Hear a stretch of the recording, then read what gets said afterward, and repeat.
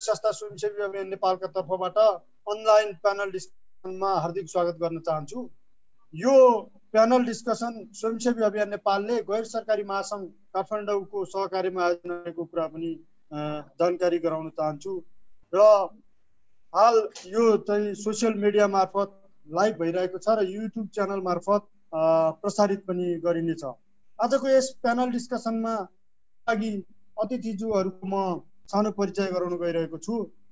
आयोजक संस्थाका तर्फबाट स्वयंसेवी नेपालका अध्यक्ष भूपेन्द्र रेज्यू। मानव अधिकारका अभियन्ता तथा नागरिक समाजका अगुवा श्री सुशील प्याकुरेलज्यू। त्यसै गरी सङ्घीय सांसद तथा सामाजिक विकास संसदीय समितिका सदस्य माननीय सुरेश। नमस्कार।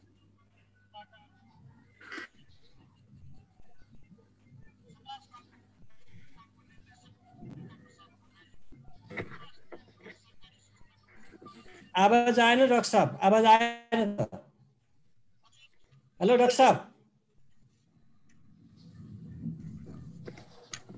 तपाईँको आवाज आएन नि। गैर सरकारी संस्था महासङ्घ काठमाडौँका अध्यक्ष चित्राम लामाज्यू चन्द्रपुर नगरपालिका रौतहटका उपमेयर रामरथी चौधरीज्यू कटरिया नगरपालिका रौतहट उपमेयर नुरजहा खातुनज्यू।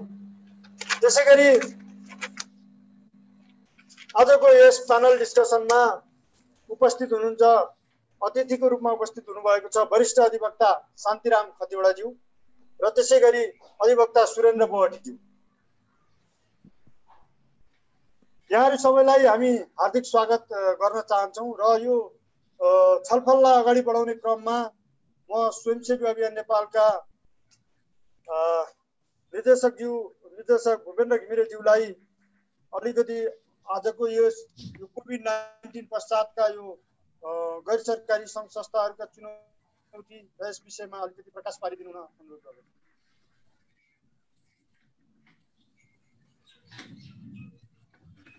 धन्यवाद डक्टर लक्ष्मी। नमस्ते यहाँहरू सबैलाई। आजको यो कार्यक्रममा स्वागत छ। हामीले यो कोभिड नाइन्टिन महामारीको एकदमै अहिले बढ्दो चरणमा छ महामारी फैलिरहेको अवस्था छ। यो अवस्थामा सरकार धेरै कुराहरूमा अहिले स्ट्रगल गरिरहेको हामी देखेका छौँ। धेरै ठाउँबाट चाहिँ समस्याका कुराहरू ल्याइराख्नु भएको छ। विशेष गरी हाम्रा नेपालीहरू जहाँ इन्डियामा काम गर्न जानुभएको थियो ओपन बोर्डरको कारणले उहाँहरू अहिले फर्किराख्नु भएको छ।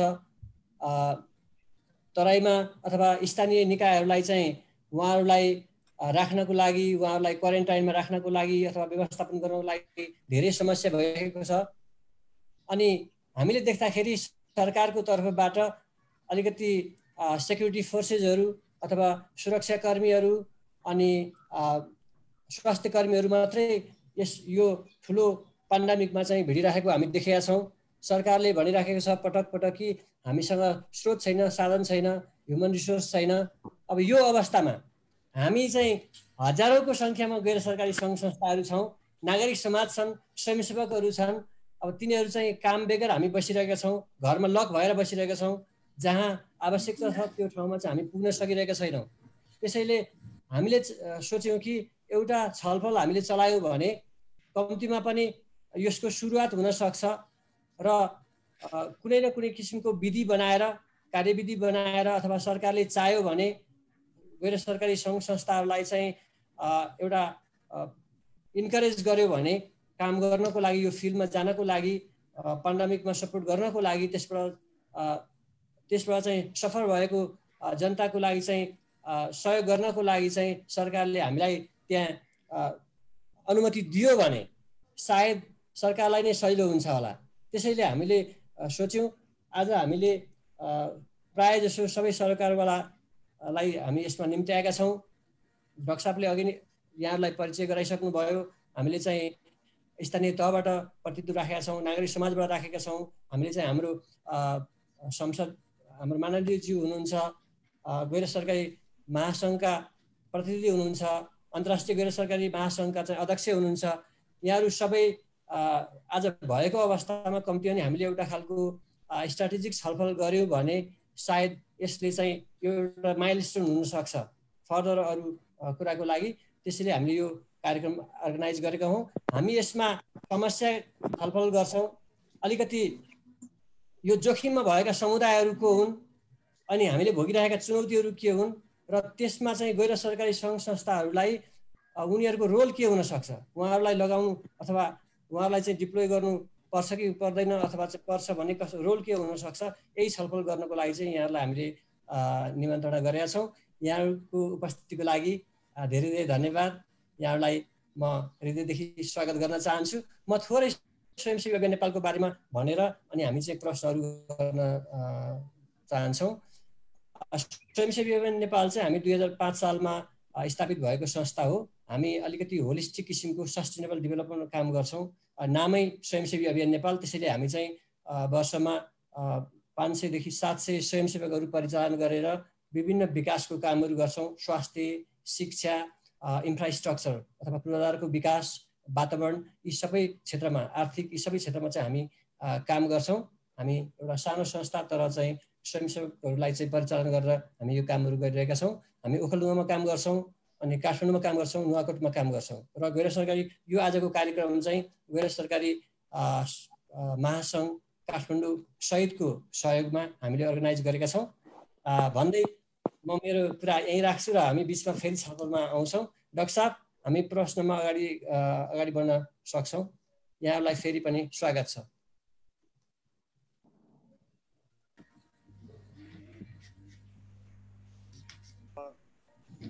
धन्यवाद। अहिले यो अलिकति हामी स्थानीय कुराहरू लिएरै सुरु गर्नुपर्छ जस्तो मलाई लागिरहेछ। म रामरथीबाट अलिकति केही कुरा दिन चाहन्छु। कस्तो भइरहेछ अहिले हजुरहरूको क्षेत्रतिर त्यहाँ? कसरी काम स्थानीय रूपमा? कसरी यो कोभिड नाइन्टिन सम्बन्धीको चाहिँ क्रियाकलापहरू अगाडि बढिरहेको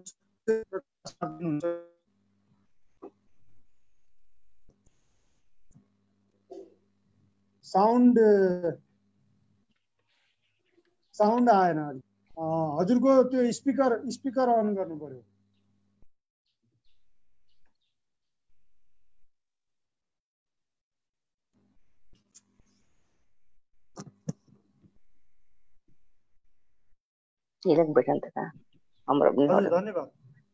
सर सम्पूर्ण मेरो नमस्कार।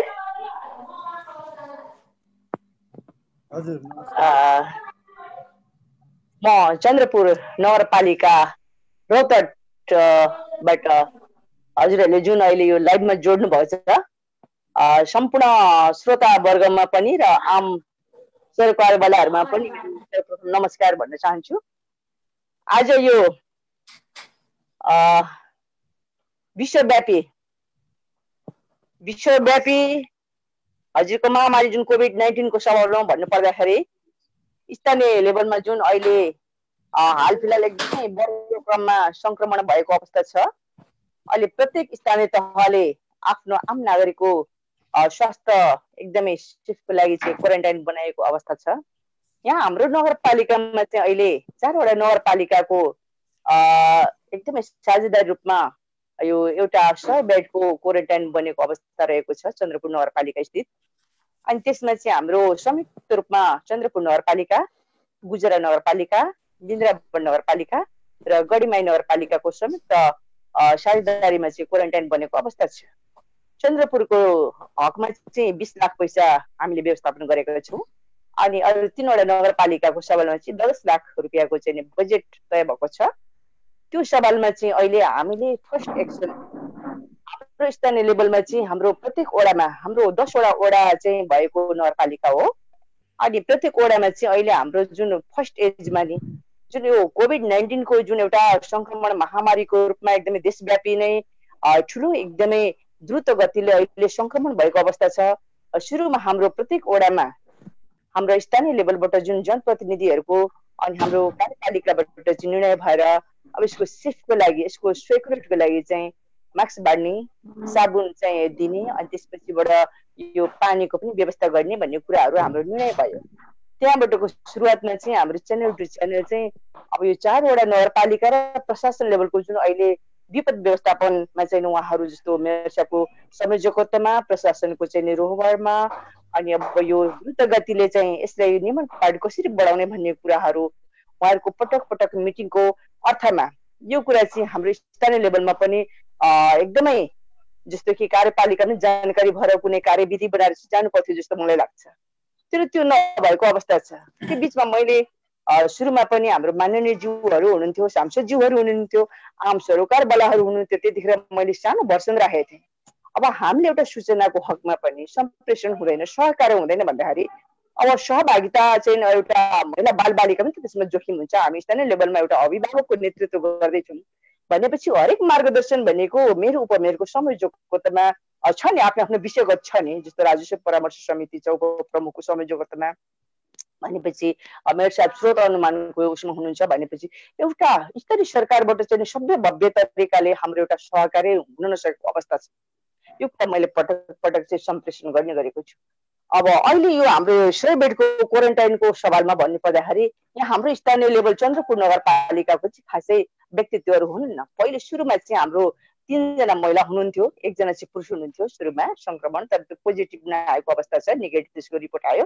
अनि अरू अरू नगरपालिकाको हकमा चाहिँ प्राय अब अरू जुन चारवटा नगरपालिका हाम्रो संयोजकतामा हुनुहुन्छ नि साझेदारीमा उहाँहरूको नगरपालिकाको बाहिरबाट आउने जुन अब श्रम अब भनौँ वर्गहरू अब जस्तो वैदेशिक रोजगारबाट आउने वर्गहरू त्यस्तो चाहिँ अलिकति महामारीबाट सङ्क्रमण हुनुभएको चाहिँ अवस्थामा उहाँहरूले क्वारेन्टाइनमा राखियो। त्यस पश्चात अहिले हाम्रो जुन यो नगरपालिकाले यत्रो बढ्दो क्रममा चाहिँ यो आइसोलेन्समा र यो भन्छ क्वारेन्टाइनमा जस्तो अब हाम्रो त यहाँ पहिले व्यवस्था थिएन। जनकपुर थियो वीरगञ्ज थियो त्यसको व्यवस्थापन आइसोलेसनको पनि। त्यतिखेरको जुन अहिले छ यो युनिटबाट चाहिँ सहकारी सम्मान हुँदै गर्दाखेरिको अवस्थामा हाम्रो चन्द्रपुर नगरपालिकाले चाहिँ अहिले बढ्दो क्रममा जस्तो क्वारेन्टाइनको सवालमा सय बेडको जुन अहिले सवाल छ त्यसको न्यूनतम चाहिँ आइसोलेन्स पनि खडा गरेको छ। अहिले जुन हाम्रो यो निर्माणको अवस्थामा सुरुवात भएको छ अनि अहिले जुन कि यो पीडितहरू जुन अल्पसङ्ख्यक पिछडा वर्ग मुखा वर्ग बाहिरबाट आउने जुन एउटा भन्छ नि वैदेशिक रोजगारबाट आउने जुन हाम्रो आम नागरिकहरू हुनुहुन्छ उहाँले कसरी सेफ गर्ने त? हाम्रो प्रत्येक स्थानीय तहबाट चाहिँ सबैले यो पहल गर्नुपर्छ। उहाँहरूको एउटा सुरक्षा नै हामी आम नागरिकको सुरक्षा हो। त्यसरी चाहिँ हामीले जुन एउटा फर्स्ट एडको ऊ छ चौध दिन पन्ध्र दिन राखेर चाहिँ उहाँहरूको एउटा पोजिटिभ नेगेटिभ रिपोर्ट अब कस्तो खालको आउँछ भन्ने कुरा चाहिँ हामीले सहर्ष त्यसलाई चाहिँ नियमन गरेर चाहिँ उहाँहरूलाई एउटा सहर्ष सम्बोधन गरेर चाहिँ एउटा रिलाइज गर्दाखेरि चाहिँ त्यो पनि एउटा अभियान नै हो। त्यसले गर्दाखेरि हामीले सक्दो प्रयास त गरेको छौँ।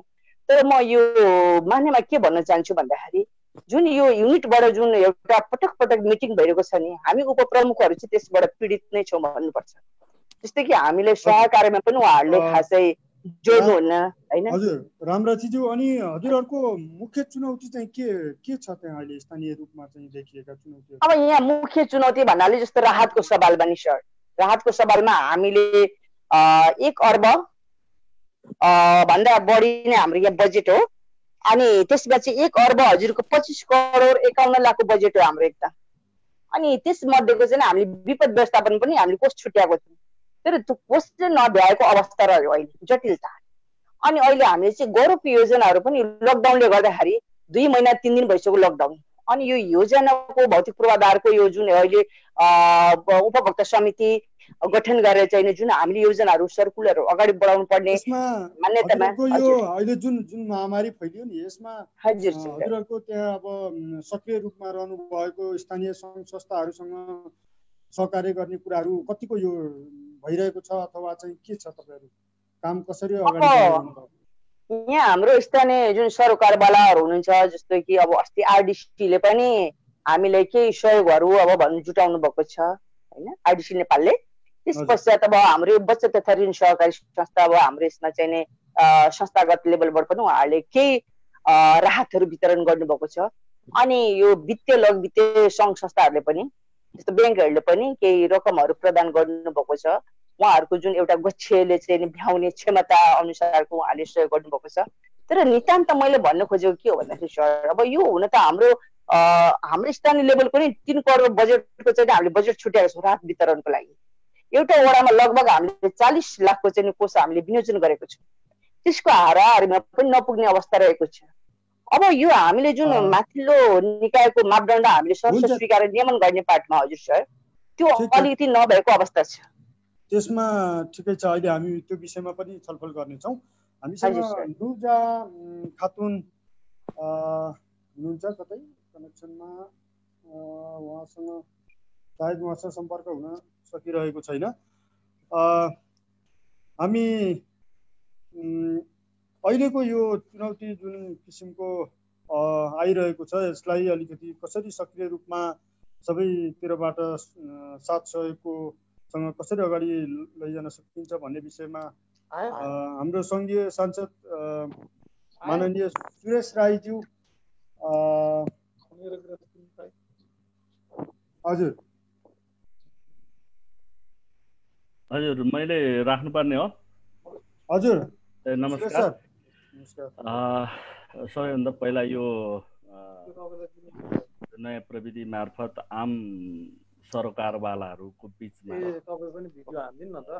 यो लकडाउनको अवस्थामा जे विषयमा केन्द्रित भएर हामी छलफल गरिराखेका छौँ यो आयोजकलाई म सबैभन्दा पहिला धन्यवाद दिन चाहन्छु। अब हाम्रो नेपालमा चाहिँ अलिकति पछिल्लो समय सङ्क्रमितहरूको सङ्ख्या अलिकति एउटा तीव्रतामा विस्तार भइरहेको अवस्था हामी सबैलाई थाहा छ। अब सुरुमा एक खालको चाहिँ अब एउटा ठुलो त्रास यो कोभिड नाइन्टिनको चाहिँ अब प्रभाव के कस्तो हुने र के कसरी चाहिँ हाम्रो नेपालमा हाम्रो त्यो समाजमा विस्तार भएर जान्छ भन्ने विषयमा हप्ता दस दिन चाहिँ एउटा त्रासमै बितेको अवस्था थियो।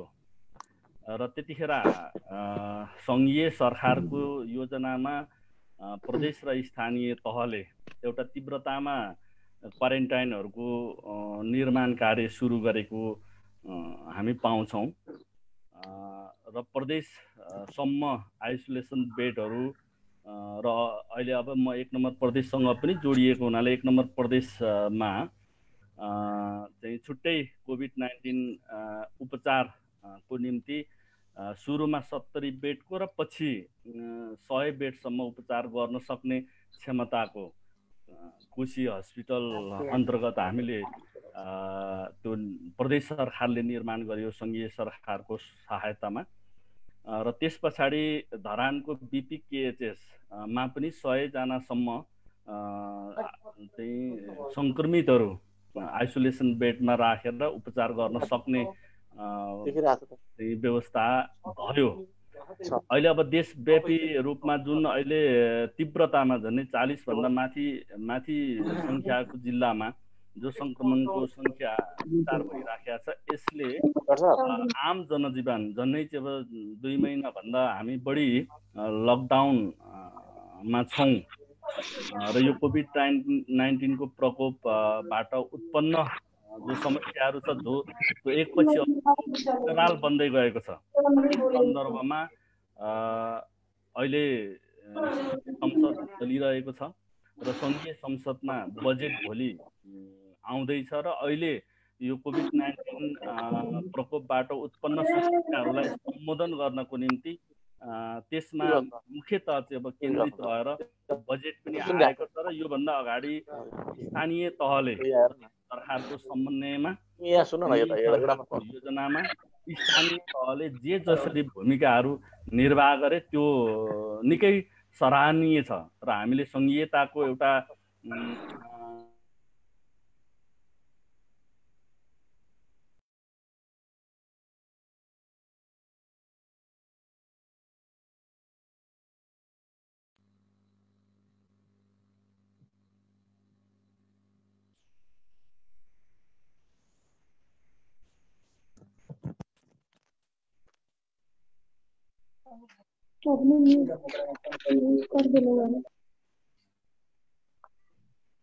यो उहाँको आवाज सुनिएन है। सांसदजीको आवाज सुनिएन। तपाईँको चाहिँ अफ छ म्युट भएको छ अन अनम्युट भएको छ म्युट गर्नु न त्यस पछाडि सुनिन्छ। म मेरो ठिकै छ। सुनिराख्नु भएको छ। हामीले चाहिँ त्यो किनभने अरू अरू सहभागी साथीहरूले सबैले चाहिँ म्युट गरिदिनु होला है र मात्रै सुनिन्छ सुरेश सरले मात्रै बोल्नुभयो मैले म्युट गर्नु तपाईँको चाहिँ नि म्युट भएको थियो अघि। अहिले अनम्युट भयो। हो त्यताबाट यहाँ म त अनै थियो। ठिक छ। त्यसो गर्दाखेरि। हामीले यो छोटो समयमा एउटा कुरा त के हो भने हाम्रो देशमा जुन सीमा नाकाहरूलाई हामीले चाहिँ अलिकति स्ट्रङली जनता समेत स्थानीय तह हाम्रो सेक्युरिटी फोर्सेसहरू र सरकारको सबै अङ्गहरूको एकताबद्धताले हामीले चाहिँ अलिकति त्यसलाई टाइट गर्न सक्यौँ सुरुको चरणमा। र यो पछिल्लो समय विभिन्न तरिकाले वैदेशिक रोजगारमा गएका छिमेकी मुलुकहरू खास गरेर चाहिँ अब भारत मा रोजगारको निम्ति गएका विभिन्न कामको सिलसिलामा गएका मानिसहरूको चाहिँ अब आगमन सँगसँगै जुन सङ्क्रमणको सङ्ख्या तीव्रता भइराखेको भइराखेको छ यसमा हामीले अहिले संसदमा पनि र चाहिँ अब विषयगत समितिहरूमा पनि म शिक्षा स्वास्थ्य खेलकुद समितिको चाहिँ अब सदस्य पनि हुँ र त्यहाँ हामीले पटक पटक यो विषयमा चाहिँ हामीले छलफल गरेका छौँ कि यसबाट उत्पन्न समस्यालाई हामीले चाहिँ यसको व्यवस्थापकीय पक्षलाई व्यवस्थित र प्रभावकारी बनाउनको निम्ति सङ्घीय सरकारले ठोस नीति लिने कुरा र प्रदेश सरकारको समन्वयमा प्रत्यक्ष अप्रत्यक्ष उपस्थितिमा स्थानीय तहलाई हामीले परिचालन गर्न सक्यौँ भने त्यो स्थानीय तहलाई यो कोभिड नाइन्टिन प्रतिरक्षा योजना चाहिँ अब केन्द्रित गर्न सक्यौँ भनेदेखि आम स्टक होल्डरहरू जो अहिले चाहिँ अब तपाईँ यहाँ चाहिँ यो स्वयंसेवी अभियान नेपाल चाहिँ लकडाउनमै छ यस्ता अब संस्थाहरू धेरै छन् नेपालमा धेरै जस्तो अब संस्थाहरू अब सङ्घ संस्थाहरू लकडाउनको अवस्थामा छ र सबैलाई प्रत्यक्ष अप्रत्यक्ष रूपमा हामी लकडाउनको पालना पनि गर्नु छ। हाम्रो नेपालको सन्दर्भमा यो लकडाउन नै पहिलो उपचार जस्तो भएको छ र यसलाई हामीले पालना गर्नै पर्छ। अ, र यो सँगसँगै हाम्रो भूगोलहरूलाई भूगोलहरूको वर्गीकरण गरेर लकडाउनको चाहिँ प्रकृतिलाई पनि चाहिँ विभिन्न अब क्षेत्र वाइज वर्गीकरण गरेर अगाडि बढ्नुपर्छ भनेर हामीले चाहिँ अब समितिले स्वास्थ्य मन्त्रालयलाई शिक्षा मन्त्रालय शिक्षा क्षेत्रमा असाध्यै चाहिँ अब अहिले त चाहिँ अब ठुलो समस्या चाहिँ अब विकराल बन्दै गएको छ। हामीले शिक्षा मन्त्रालय भन् भनेका छौँ कि चाहिँ विद्यार्थीहरूको यो शैक्षिक सत्रलाई कसरी सुचारू गर्ने यसको चाहिँ योजनाहरू के छ? छिटोभन्दा छिटो चाहिँ सरकारवालाहरूसँग अभिभावकहरूसँग विद्यार्थीहरूसँग अझ चाहिँ भनौँ न निजी क्षेत्र र जो सामुदायिक क्षेत्रका चाहिँ अब विज्ञहरूसँग छलफल गरेर ठोस योजना ल्याउनुपर्छ भनेर हामीले भनेका छौँ र शिक्षा मन्त्रालयले पनि अ, अहोरात्र खटिराखेको अवस्था छ। स्वास्थ्य मन्त्रालयको कुरा पनि यो जुन सुरुकै चरणमा जे अब बाहिर म्यासेज राम्रो गएन तर चाहिँ अब पछिल्लो समय स्वास्थ्य मन्त्रालयले खेलेको भूमिका र स्वास्थ्य मन्त्रालय मार्फत आम स्वास्थ्य क्षेत्रमा यो कोभिड नाइन्टिन केन्द्रित चाहिँ प्रतिरक्षाको निम्ति त छँदैछ त्यो सँगसँगै नियमित उपचार गर्नुपर्ने वृद्ध बालकदेखि लिएर सबै इएसलाई पनि चाहिँ निजी क्षेत्र सबै क्षेत्रलाई चाहिँ एकीकृत ढङ्गले अगाडि बढाउने चाहिँ योजना हुनुपर्छ भनेर हामीले भनेका छौँ र यो सँगसँगै जो लाखौँ अ, करोडौँको सङ्ख्यामा भन्नुहोस् न अहिले त जो दैनिक अ, जीविका पार्जनको निम्ति समस्यासँग चाहिँ प्रत्यक्ष रूपमा जुझिरहेका छौँ र योभन्दा एकपछि अर्को गर्दै सङ्कटहरू चाहिँ गहिरिँदै गएको छ यो विषयमा पनि हामीले काफी मात्रामा समितिमा संसदमा छलफल गरिरहेका छौँ र म यो सिलसिलामा भोलि बजेट आउँदैछ। हामी केही दिन छोटो चाहिँ समय त्यसमाथि छलफल गर्नेछौँ र मन्त्रालय योजनाहरू चाहिँ अब अगाडि आउनेछ र त्यसलाई चाहिँ तिन तहको सरकारको एकीकृत योजना र त्यो सँगसँगै सबै सरकारवालाहरू जसले चाहिँ अब नेपाली समाजलाई यहाँसम्म ल्याउनको निम्ति प्रत्यक्ष अप्रत्यक्ष रूपमा जो भूमिका खेल्नु भएको छ भूमिका खेल्नेहरूलाई समेत समेटेर अगाडि बढ्नुपर्छ भनेर हामीले सुझाव दिएका छौँ र तपाईँहरूसँग चाहिँ अब हामी निरन्तर रूपमा सहकार्य गर्दै रहन्छौँ। हामी जुन दिन एक हप्ता दस दिन जस्तो हामी जस्तै एउटा आतङ्कको बिचमा त्रासदी त्रासदीको बिचमा हामी लकडाउनमा पऱ्यौँ। त्यस पछाडि कुनै न कुनै रूपमा कुनै न कुनै रूपमा हामी सबै सबै ठाउँमा सक्रिय छौँ। धन्यवाद। धन्यवाद सुरेश सर। हामी फेरि पछि यो विषयलाई कन्टिन्यू हामी छलफलमै राखिरहँला। अहिले हामीसँग दुर्गा प्रसाद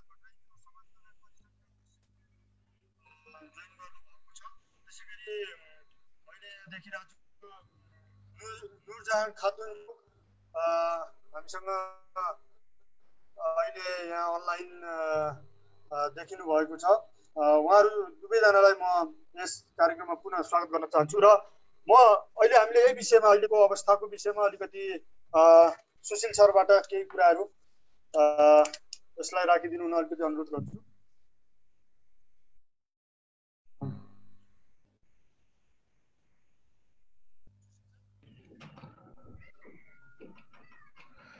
हस् नमस्कार धन्यवाद। मलाई पहिल्यै दिनुभयो। अलिक कति साथीहरूसित सुनिसकेर गर्न पाएको राम्रो त तर I will come later also सबभन्दा पहिला त यो तपाईँहरूको इनिसिएसनलाई धन्यवाद होइन? यो बन्दाबन्दीको बेलामा पनि हामी चुप लागेर बसेका छैनौँ भन्ने कुरोले देखाउँछ। र तपाईँहरूले केही गर्न खोजिरहनु भएको छ त्यो गर्ने वातावरण चाहिँ गराइदिनु पर्यो भन्ने यसको उद्देश्य मैले सबै तपाईँको पेपर पढ्दाखेरि मलाई त्यस्तो लागेको छ।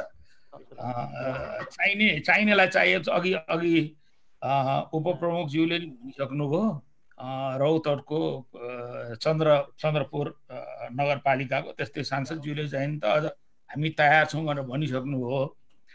तर अब हामी सबैले सोच्नुपर्ने कुरा चाहिँ किन कुरा गर्दाखेरि सबै तयार हुन्छन्? होइन मेरो यो बिचमा चाहिँ नि केही लिडरहरूसित पनि कुरा भएको थियो। कसैले पनि हामी सहयोग लिन चाहँदैनौँ सहयोग लिँदैनौँ यतिखेर चाहिँदैन भने हामी विदेशमा रहेका नेपालीहरूलाई राम्रोसित राखिदेऊ भनेर हाम्रो प्रधानमन्त्रीज्यूले बारम्बार विभिन्न देशका सरकार प्रमुखहरूलाई राष्ट्र प्रमुखहरूलाई अनुरोध गरिरहनु भएको छ। भनेको तिनीहरू विदेशी हो नि त। विदेशमा भएका तिमीले राखिदिनुपर्छ भनेर। अनि वर्ल्ड हेल्थ अर्गनाइजेसनको प्रोटोकलहरू छन्। अर्को इन्टरनेसनल एउटा अन्डरस्ट्यान्डिङ पनि के हो भने यस्तो महामारीको बेलामा यो हामी मानव अधिकार कर्मीहरूले भन्ने गरेको त्यो त अब्लिगेसन अफ द स्टेट भन्छौँ। राज्यको चाहिँ नि त्यो त्यो त्यो प्रतिबद्धता मात्रै भएर हुँदैन। राज्यले गर्नुपर्छ। खाना खाऊ मात्रै भनेर हुँदैन। बजारमा ल्याइदिएर मात्रै हुँदैन। खाना खाने वातावरण बनाइदिनुपर्छ। अर्थात् कहिले कहिले हामीले भन्ने गर्छौँ खाद्य अधिकार भनेको जाउलो पकाएर खानिदिने होइन भनेर भन्छौँ। तर यस्तो बेलामा जाउलो पकाएरै खानिदिने हो फेरि। यो महामारीको बेलामा चाहिँ नि जाउलो पकाएरै खानिदिने पनि पर्छ। त्यसैले यो यो सबै कुरालाई हामीले हेरेर हाम्रो देशमा पनि सरकारले सकेको प्रयत्नहरू गरिरहेछ अब यो संसारभरि अस प्रब्लम परेको हामी कहाँ मात्रै परे होइन। हामीले अलिकति पनि हिचक हुनु हुँदैन हामीभित्र अलिकति पनि मलाई चाहिँ हिन्ता बोध हुनु हुँदैन किनभने हामीले देखिरहेछौँ हामीभन्दा धेरै विकसित राष्ट्रहरूको यस यो यो पेन्डेमिकलाई यो महामारीलाई एड्रेस गर्ने कुरामा कोही पनि अनुभव छैन। र यो नयाँ किसिमको छ। अरू अरू विगतमा देखिएका भन्दा नयाँ किसिमको छ हामीले देखिरहेछौँ। धेरै रिसर्चहरू भइरहेछ तर अब यहाँ चाहिँ नि के छ भने हामीले जति गरेका छौँ प्रयत्न हाम्रो राम्रो छ। तर पर्याप्त भइरहेको छैन। प्रयत्न गर्नु र न्यूनतम त्यसका क्राइटेरियाहरू पुरा गरेर र त्यसलाई पर्याप्ततातिर लैजानु चाहिँ नि यो दुईवटा कुरा हुन्। प्रयत्न मैले गर्न सक्छु तर मेरो प्रयत्नले नहुँदाखेरि मैले अरूको सहयोग लिनुपर्छ। अथवा मेरो क्षमताकै कुरा आउँछ। अहिले भर्खर चाहिँ नि फेरि पनि म जान चाहन्छु जो ग्रास रुटमा काम गर्ने र जो अहिले सबभन्दा बढी यसको नेतृत्व गर्ने भनेको हाम्रो चाहिँ नि स्थानीय तहहरू हुन्। स्थानीय तहहरूको चाहिँ पनि समस्या भइसक्यो। उहाँहरूको रिसोर्सले भ्याइँदैन पैसा भएर मात्र पनि हुँदो रहेछ भन्ने कुरो त हामीले युरोप र अमेरिकाका मुलुकहरूलाई देखिसक्यौँ नि। पैसा भएर मात्र पनि हुँदो रहन्छ होइन?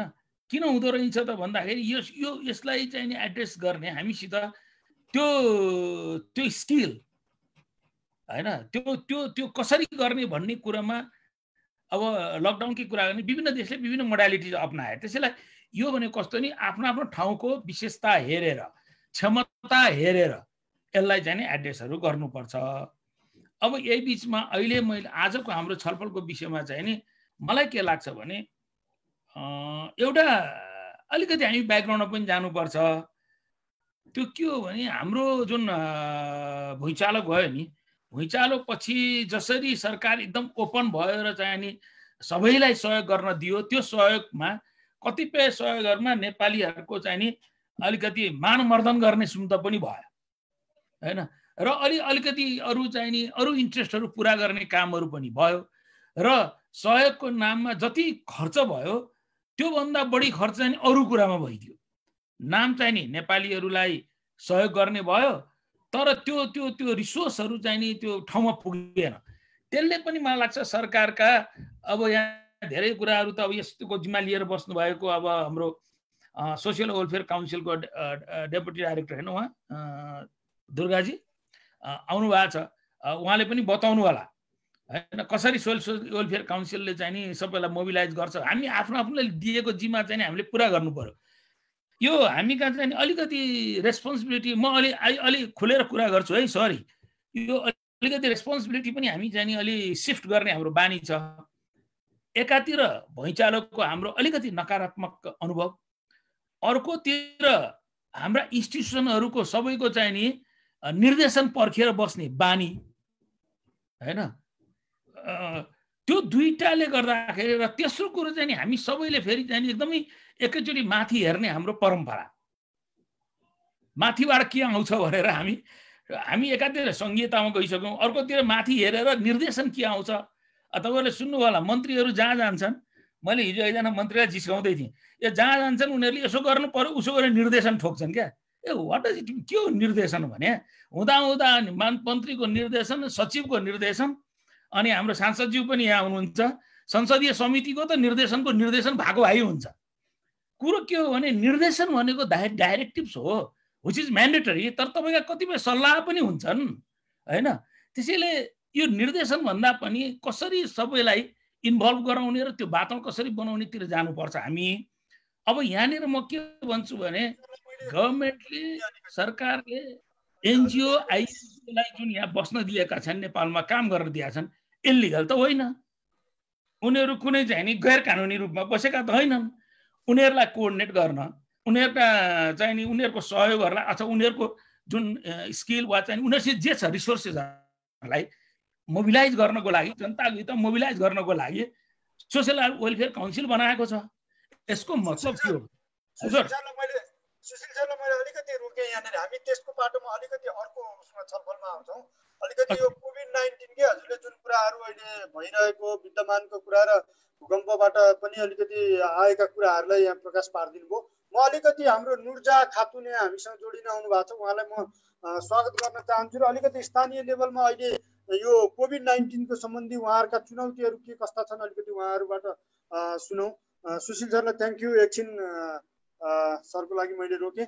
नुर नुर्जा नुर्जा खातुन म्याडम हजुर हामीलाई सुन्दै हुनुहुन्छ। अलिकति अहिले स्थानीय उसमा तपाईँहरूको चुनौती के कस्तो छ र तपाईँहरूसँग तपाईँहरूको क्षेत्रमा चाहिँ सबैभन्दा अलिकति यसको लागि यो कोभिड नाइन्टिनको लागि रिक्स अलिकति चाहिँ प्रताडित हुने सम्भावना देख्नु भएको छ। अलिकति प्रकाश पारिदिनुहोस् न।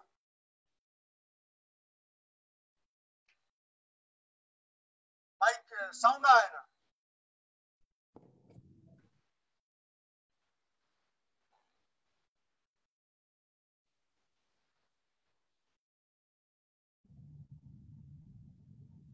दुर्जामानको साउन्ड साउन्ड आएन।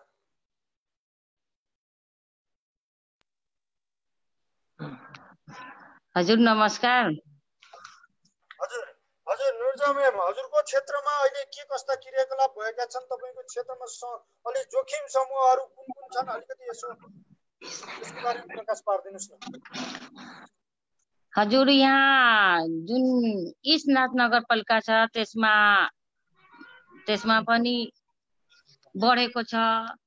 बिर्दा बिर्दावन नगरपालिकामा पनि बढेको छ। राजपुर नगरपालिकामा पनि बढेको छ। सबै तिनवटा नगरपालिकामा अहिले नाकाबन्दी छ। रौतहट जिल्लामा सबैभन्दा रा, राजपुर नगरपालिकामा बढिरहेछ। हाम्रो कटहरियामा आज आज दुईजना पोजिटिभ पोजिटिभ निस्किया छ। तर किन बढिरहेछ? जुन हामी महामारी जति बढेको छ कोभिड नाइन्टिनमा हामीहरू सुरुदेखि नै हामीहरू व्यवस्था गरेको छु कटहरिया नगरपालिकाबाट। तर जुन बोर्डर पार मान्छे आइरहेछ त्यसमा पनि बढी बढिरहेछ। त्यसमा अब प्रशासनकै गल्ती छ कि के गल्ती छ अब मान्छे त्यहाँ विशेष करके त्यहाँ बोर्डरमे भारतबाट मान्छे आइरहेछ।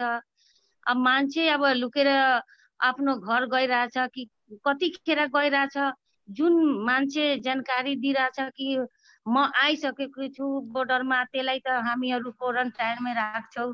जुन मान्छे एक बजेतिर दुई बजेतिर रातिको बेला आइरहेछ त्यो आफ्नो घरमा गइरहेछ। त्यसैको कारण सायद बढिरहेछ प्रत्येक दिन बढिरहेछ त्यो कोरोना भाइरस किन बढिरहेछ? त्यसमा हामी स्थानीय सरकारलाई यानि प्रदेश सरकारले सबैजनालाई म भनिरहेको छु कि जब बढी बढिरहेछ त्यसमा ध्यान दिनुपर्छ। अहिले जुन जुन नगरपालिकामा भोलिन्टियर छ मलाई लागिरहेछ हाम्रो कटहरिया नगरपालिकामा पाँचवटा भोलिन्टियर छ। भोलिन्टियरले आफ्नो कर्तव्य राम्रोसित निभा गरेको छैन। किनकि उनीहरू अब मान्छे आइरहेछ इन्डियाबाट त्यो पैसा खुवाइरहेछ कि के कमिसन दिइरहेछ त्यो मान्छेलाई लुके छुपेर त्यसको घर पेठाइरहेछ। यस यस्तो खालके भइरहेछ यस्तो खालके हुँदाखेरि त्यसमा त विशेष गरेर मेयर साहेबलाई ध्यान दिनुपर्छ। अब सायद मलाई लागिरहेछ कि मेयर साहेबलाई कुनै ध्यानै छैन। किनकि म म कटहरिया नगरपालिकामा छिमेकी जस्तै मेरो घर छ। यहाँ नजिकै क्वारेन्टाइन हाम्रो स्कुल विद्या यहाँ माभि छ माभि विद्यालयमा क्वारेन्टाइन हामीहरू व्यवस्था गरेको छु। त्यहाँ मान्छे इन्डियाबाट आइरहेछ जुन जानकारी दिइरहेछ त्यसलाई त्यहाँ राखेर क्वारेन्टाइनमा हामीहरू राख्छौँ। तर जुन मान्छे लुकेर आइरहेछ विशेष करके जुन भोलिन्टियर छ त्यसलाई त थाहा हुन्छ। म कतिजनालाई म लुकेर अनुगमन गरेको छु। त्यो घरमै लुका लुकाएर बसाउँछ त्यो किन बस बसाइरहेछ किन छुपाइरहेछ त्यसलाई पनि कारवाही गर्नुपर्छ। म मेयर साहेबसँग म आग्रह गर्छु उहाँसँग म प्रत्येक कुरामा त्यहाँ कुरा राखेको छु कि जुन इन्डियाबाट मान्छे आइरहेछ प्रत्येक घरमै जाँच गर्नुहोस् तपाईँ प्रशासनले पनि टाइट गर्नुहोस् तर उहाँले केही मतलबै छैन। मलाई पनि दुःख भइरहेछ पीडा भइरहेछ कि हाम्रो रौतहट जति शान्ति थियो अहिले शान्ति छैन। अब यसमा विशेष कसको गल्ती छ? प्रशासनको गल्ती हो कि स्थानीय सरकारको गल्ती हो कि जनताहरूको गल्ती हो? कुनै न कुनैको गल्ती छ तर जुन मान्छे भारतबाट आइरहेछ भगवान् जाने कि कस कसलाई त्यो पोजिटिभ होला नेगेटिभ होला? तर यहाँ क्वारेन्टाइनमा हामीहरू राखिरहेको तर किन सरिरहेछ किन यति बढिरहेछ प्रत्येक दिन बढिरहेछ? दुःख लाग्छ डर पनि हामीहरूको लागिरहेछ। हामीहरू घरमै बसेर पनि। धन्यवाद नुर्जा म्याम। हजुरले हामीलाई जानकारी दिनुभयो। त्यहाँ चाहिँ अलिकति इन्डियाबाट चाहिँ धेरै मान्छेहरू आएर त्यो क्षेत्रमा तपाईँहरूलाई तपाईँहरूको त्यो क्षेत्रमा चाहिँ बढी इन्फेक्सनहरू बढिरहेछ भन्ने कुराहरू गर्नुभयो। उहाँ हुनुहुन्थ्यो कटरिया नगरपालिका रौतट उपमेयर नुरजहाँ खातुनज्यू। अब म अलिकति हाम्रो यो गैर सरकारी महासङ्घ सङ्घ संस्थाहरूतिर जान चाहन्छु। गैर सरकारी संस्था महासङ्घ काठमाडौँका अध्यक्ष जितराम लामाज्यू हुनुहुन्छ हामीसँग यहाँ। जितराम सर अहिले हामीले यो यो अवस्थामा फेस गरिरहेको फेस गरिरहेको अलिकति चुनौतीको कुराहरूलाई अलिकति यहाँ राखिदिनुहोस् न। जितराम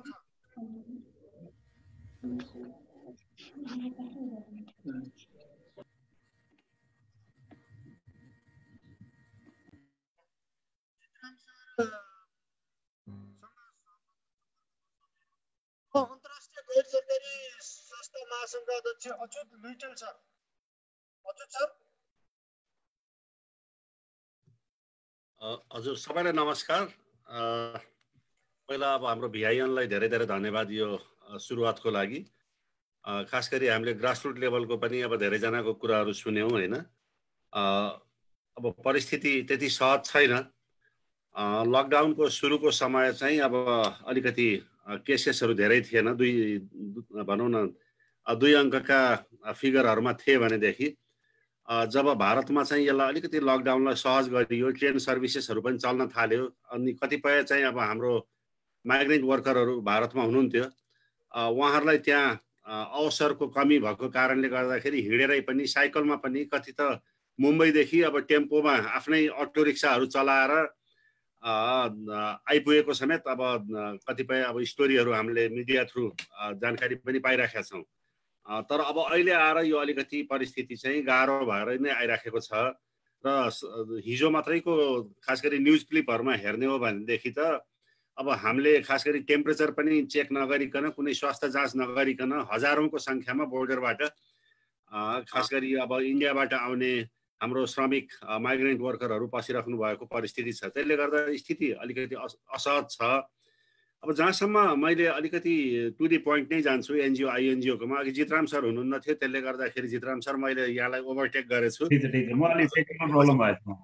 खास गरी एनजिओ फेडरेसन नेपाल र एआइएन असाध्यै ऐक्यबद्ध भएर काम गरिराखेका छौँ है यो अब हामीले अघि सुशील सरले पनि भन्नुभयो भूकम्पको बेलामा चाहिँ अब अलिकति हाम्रो नेपाल सरकारको नियमनहरू अलिकति राम्रो नभएको कारणले गर्दाखेरि त्यसमा चाहिँ अब विकृतिहरू पनि आए राम्रा नराम्रा धेरै कुराहरू आए राम्रा पक्ष पनि छन् नराम्रा पक्ष पनि धेरै नै छन् किनभने कतिपय आइएनजिओहरू त अब कतै पनि रेकर्डेड नभइकन आफ्नो तरिकाले आएर आफ्नै तरिकाले फर्केका केसेसहरू पनि फाटाफुट्टा देखिएका छन्। अब समाज कल्याण परिषदबाट व्यापक रूपमा रूपमा कामहरू भइराखेकै हो तर उहाँहरूको पनि एक किसिमले जति उहाँहरूको एउटा कार्यक्षेत्र छ त्योभन्दा उहाँहरूलाई रिजोर्सेस पनि कम छ त्यहाँ जनशक्ति पनि कम छ र जति जनशक्ति उहाँहरूसँग छ त्यसको आधारमा भन्ने हो भनेदेखि उहाँहरूले हन्ड्रेड पर्सेन्टभन्दा बढी काम गरिराख्नु भएको छ। अहिले अब आइएनजिओहरूलाई अब एक किसिमले सहजीकरण गर्ने हिसाबले अहिले खास गरी अब समाज कल्याण परिषदबाट र खास यसमा मुख्य त हाम्रो महिला बालबालिका तथा यो सिनियर सिटिजन्सको मन्त्रीज्यू पार्वत गुरुङज्यूले नै पहल पनि लिइराख्नु भएको छ। धेरै फास्ट ट्र्याक अप्रोचबाट दुई दिनमा नै कतिपय चाहिँ अब हामीले आफ्नो प्रोजेक्टमा भएको बजेटलाई अलिकति एडजस्ट गरेर कोभिडको लागि रेस्पोन्ड गर्ने हो भनेदेखि दुई दिनभित्रमा नै उहाँहरूले एउटा अप्रुभल दिने अनि त्यस्तै नयाँ कोभिड रेस्पोन्सको कुनै परियोजनाहरू छ भने पनि एक हप्ताभित्रमा चाहिँ उहाँहरूले स्वीकृति दिने खालको त्यस्तो धेरै लचिलो र त्यो पनि अनलाइनबाटै हामी भौतिक रूपमा जान पनि पर्दैन किनभने लकडाउनको परिस्थिति छ। त्यस्तो खालको सहज परिस्थितिहरू बनाइदिइराख्नु भएको छ।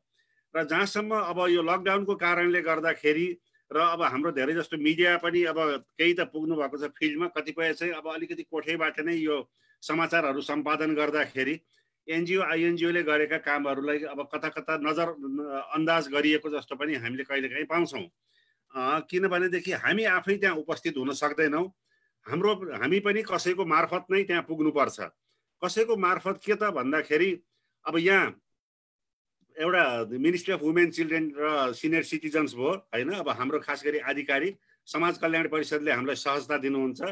अनि अर्को भनेको चाहिँ अब ministry of health and population हो होइन?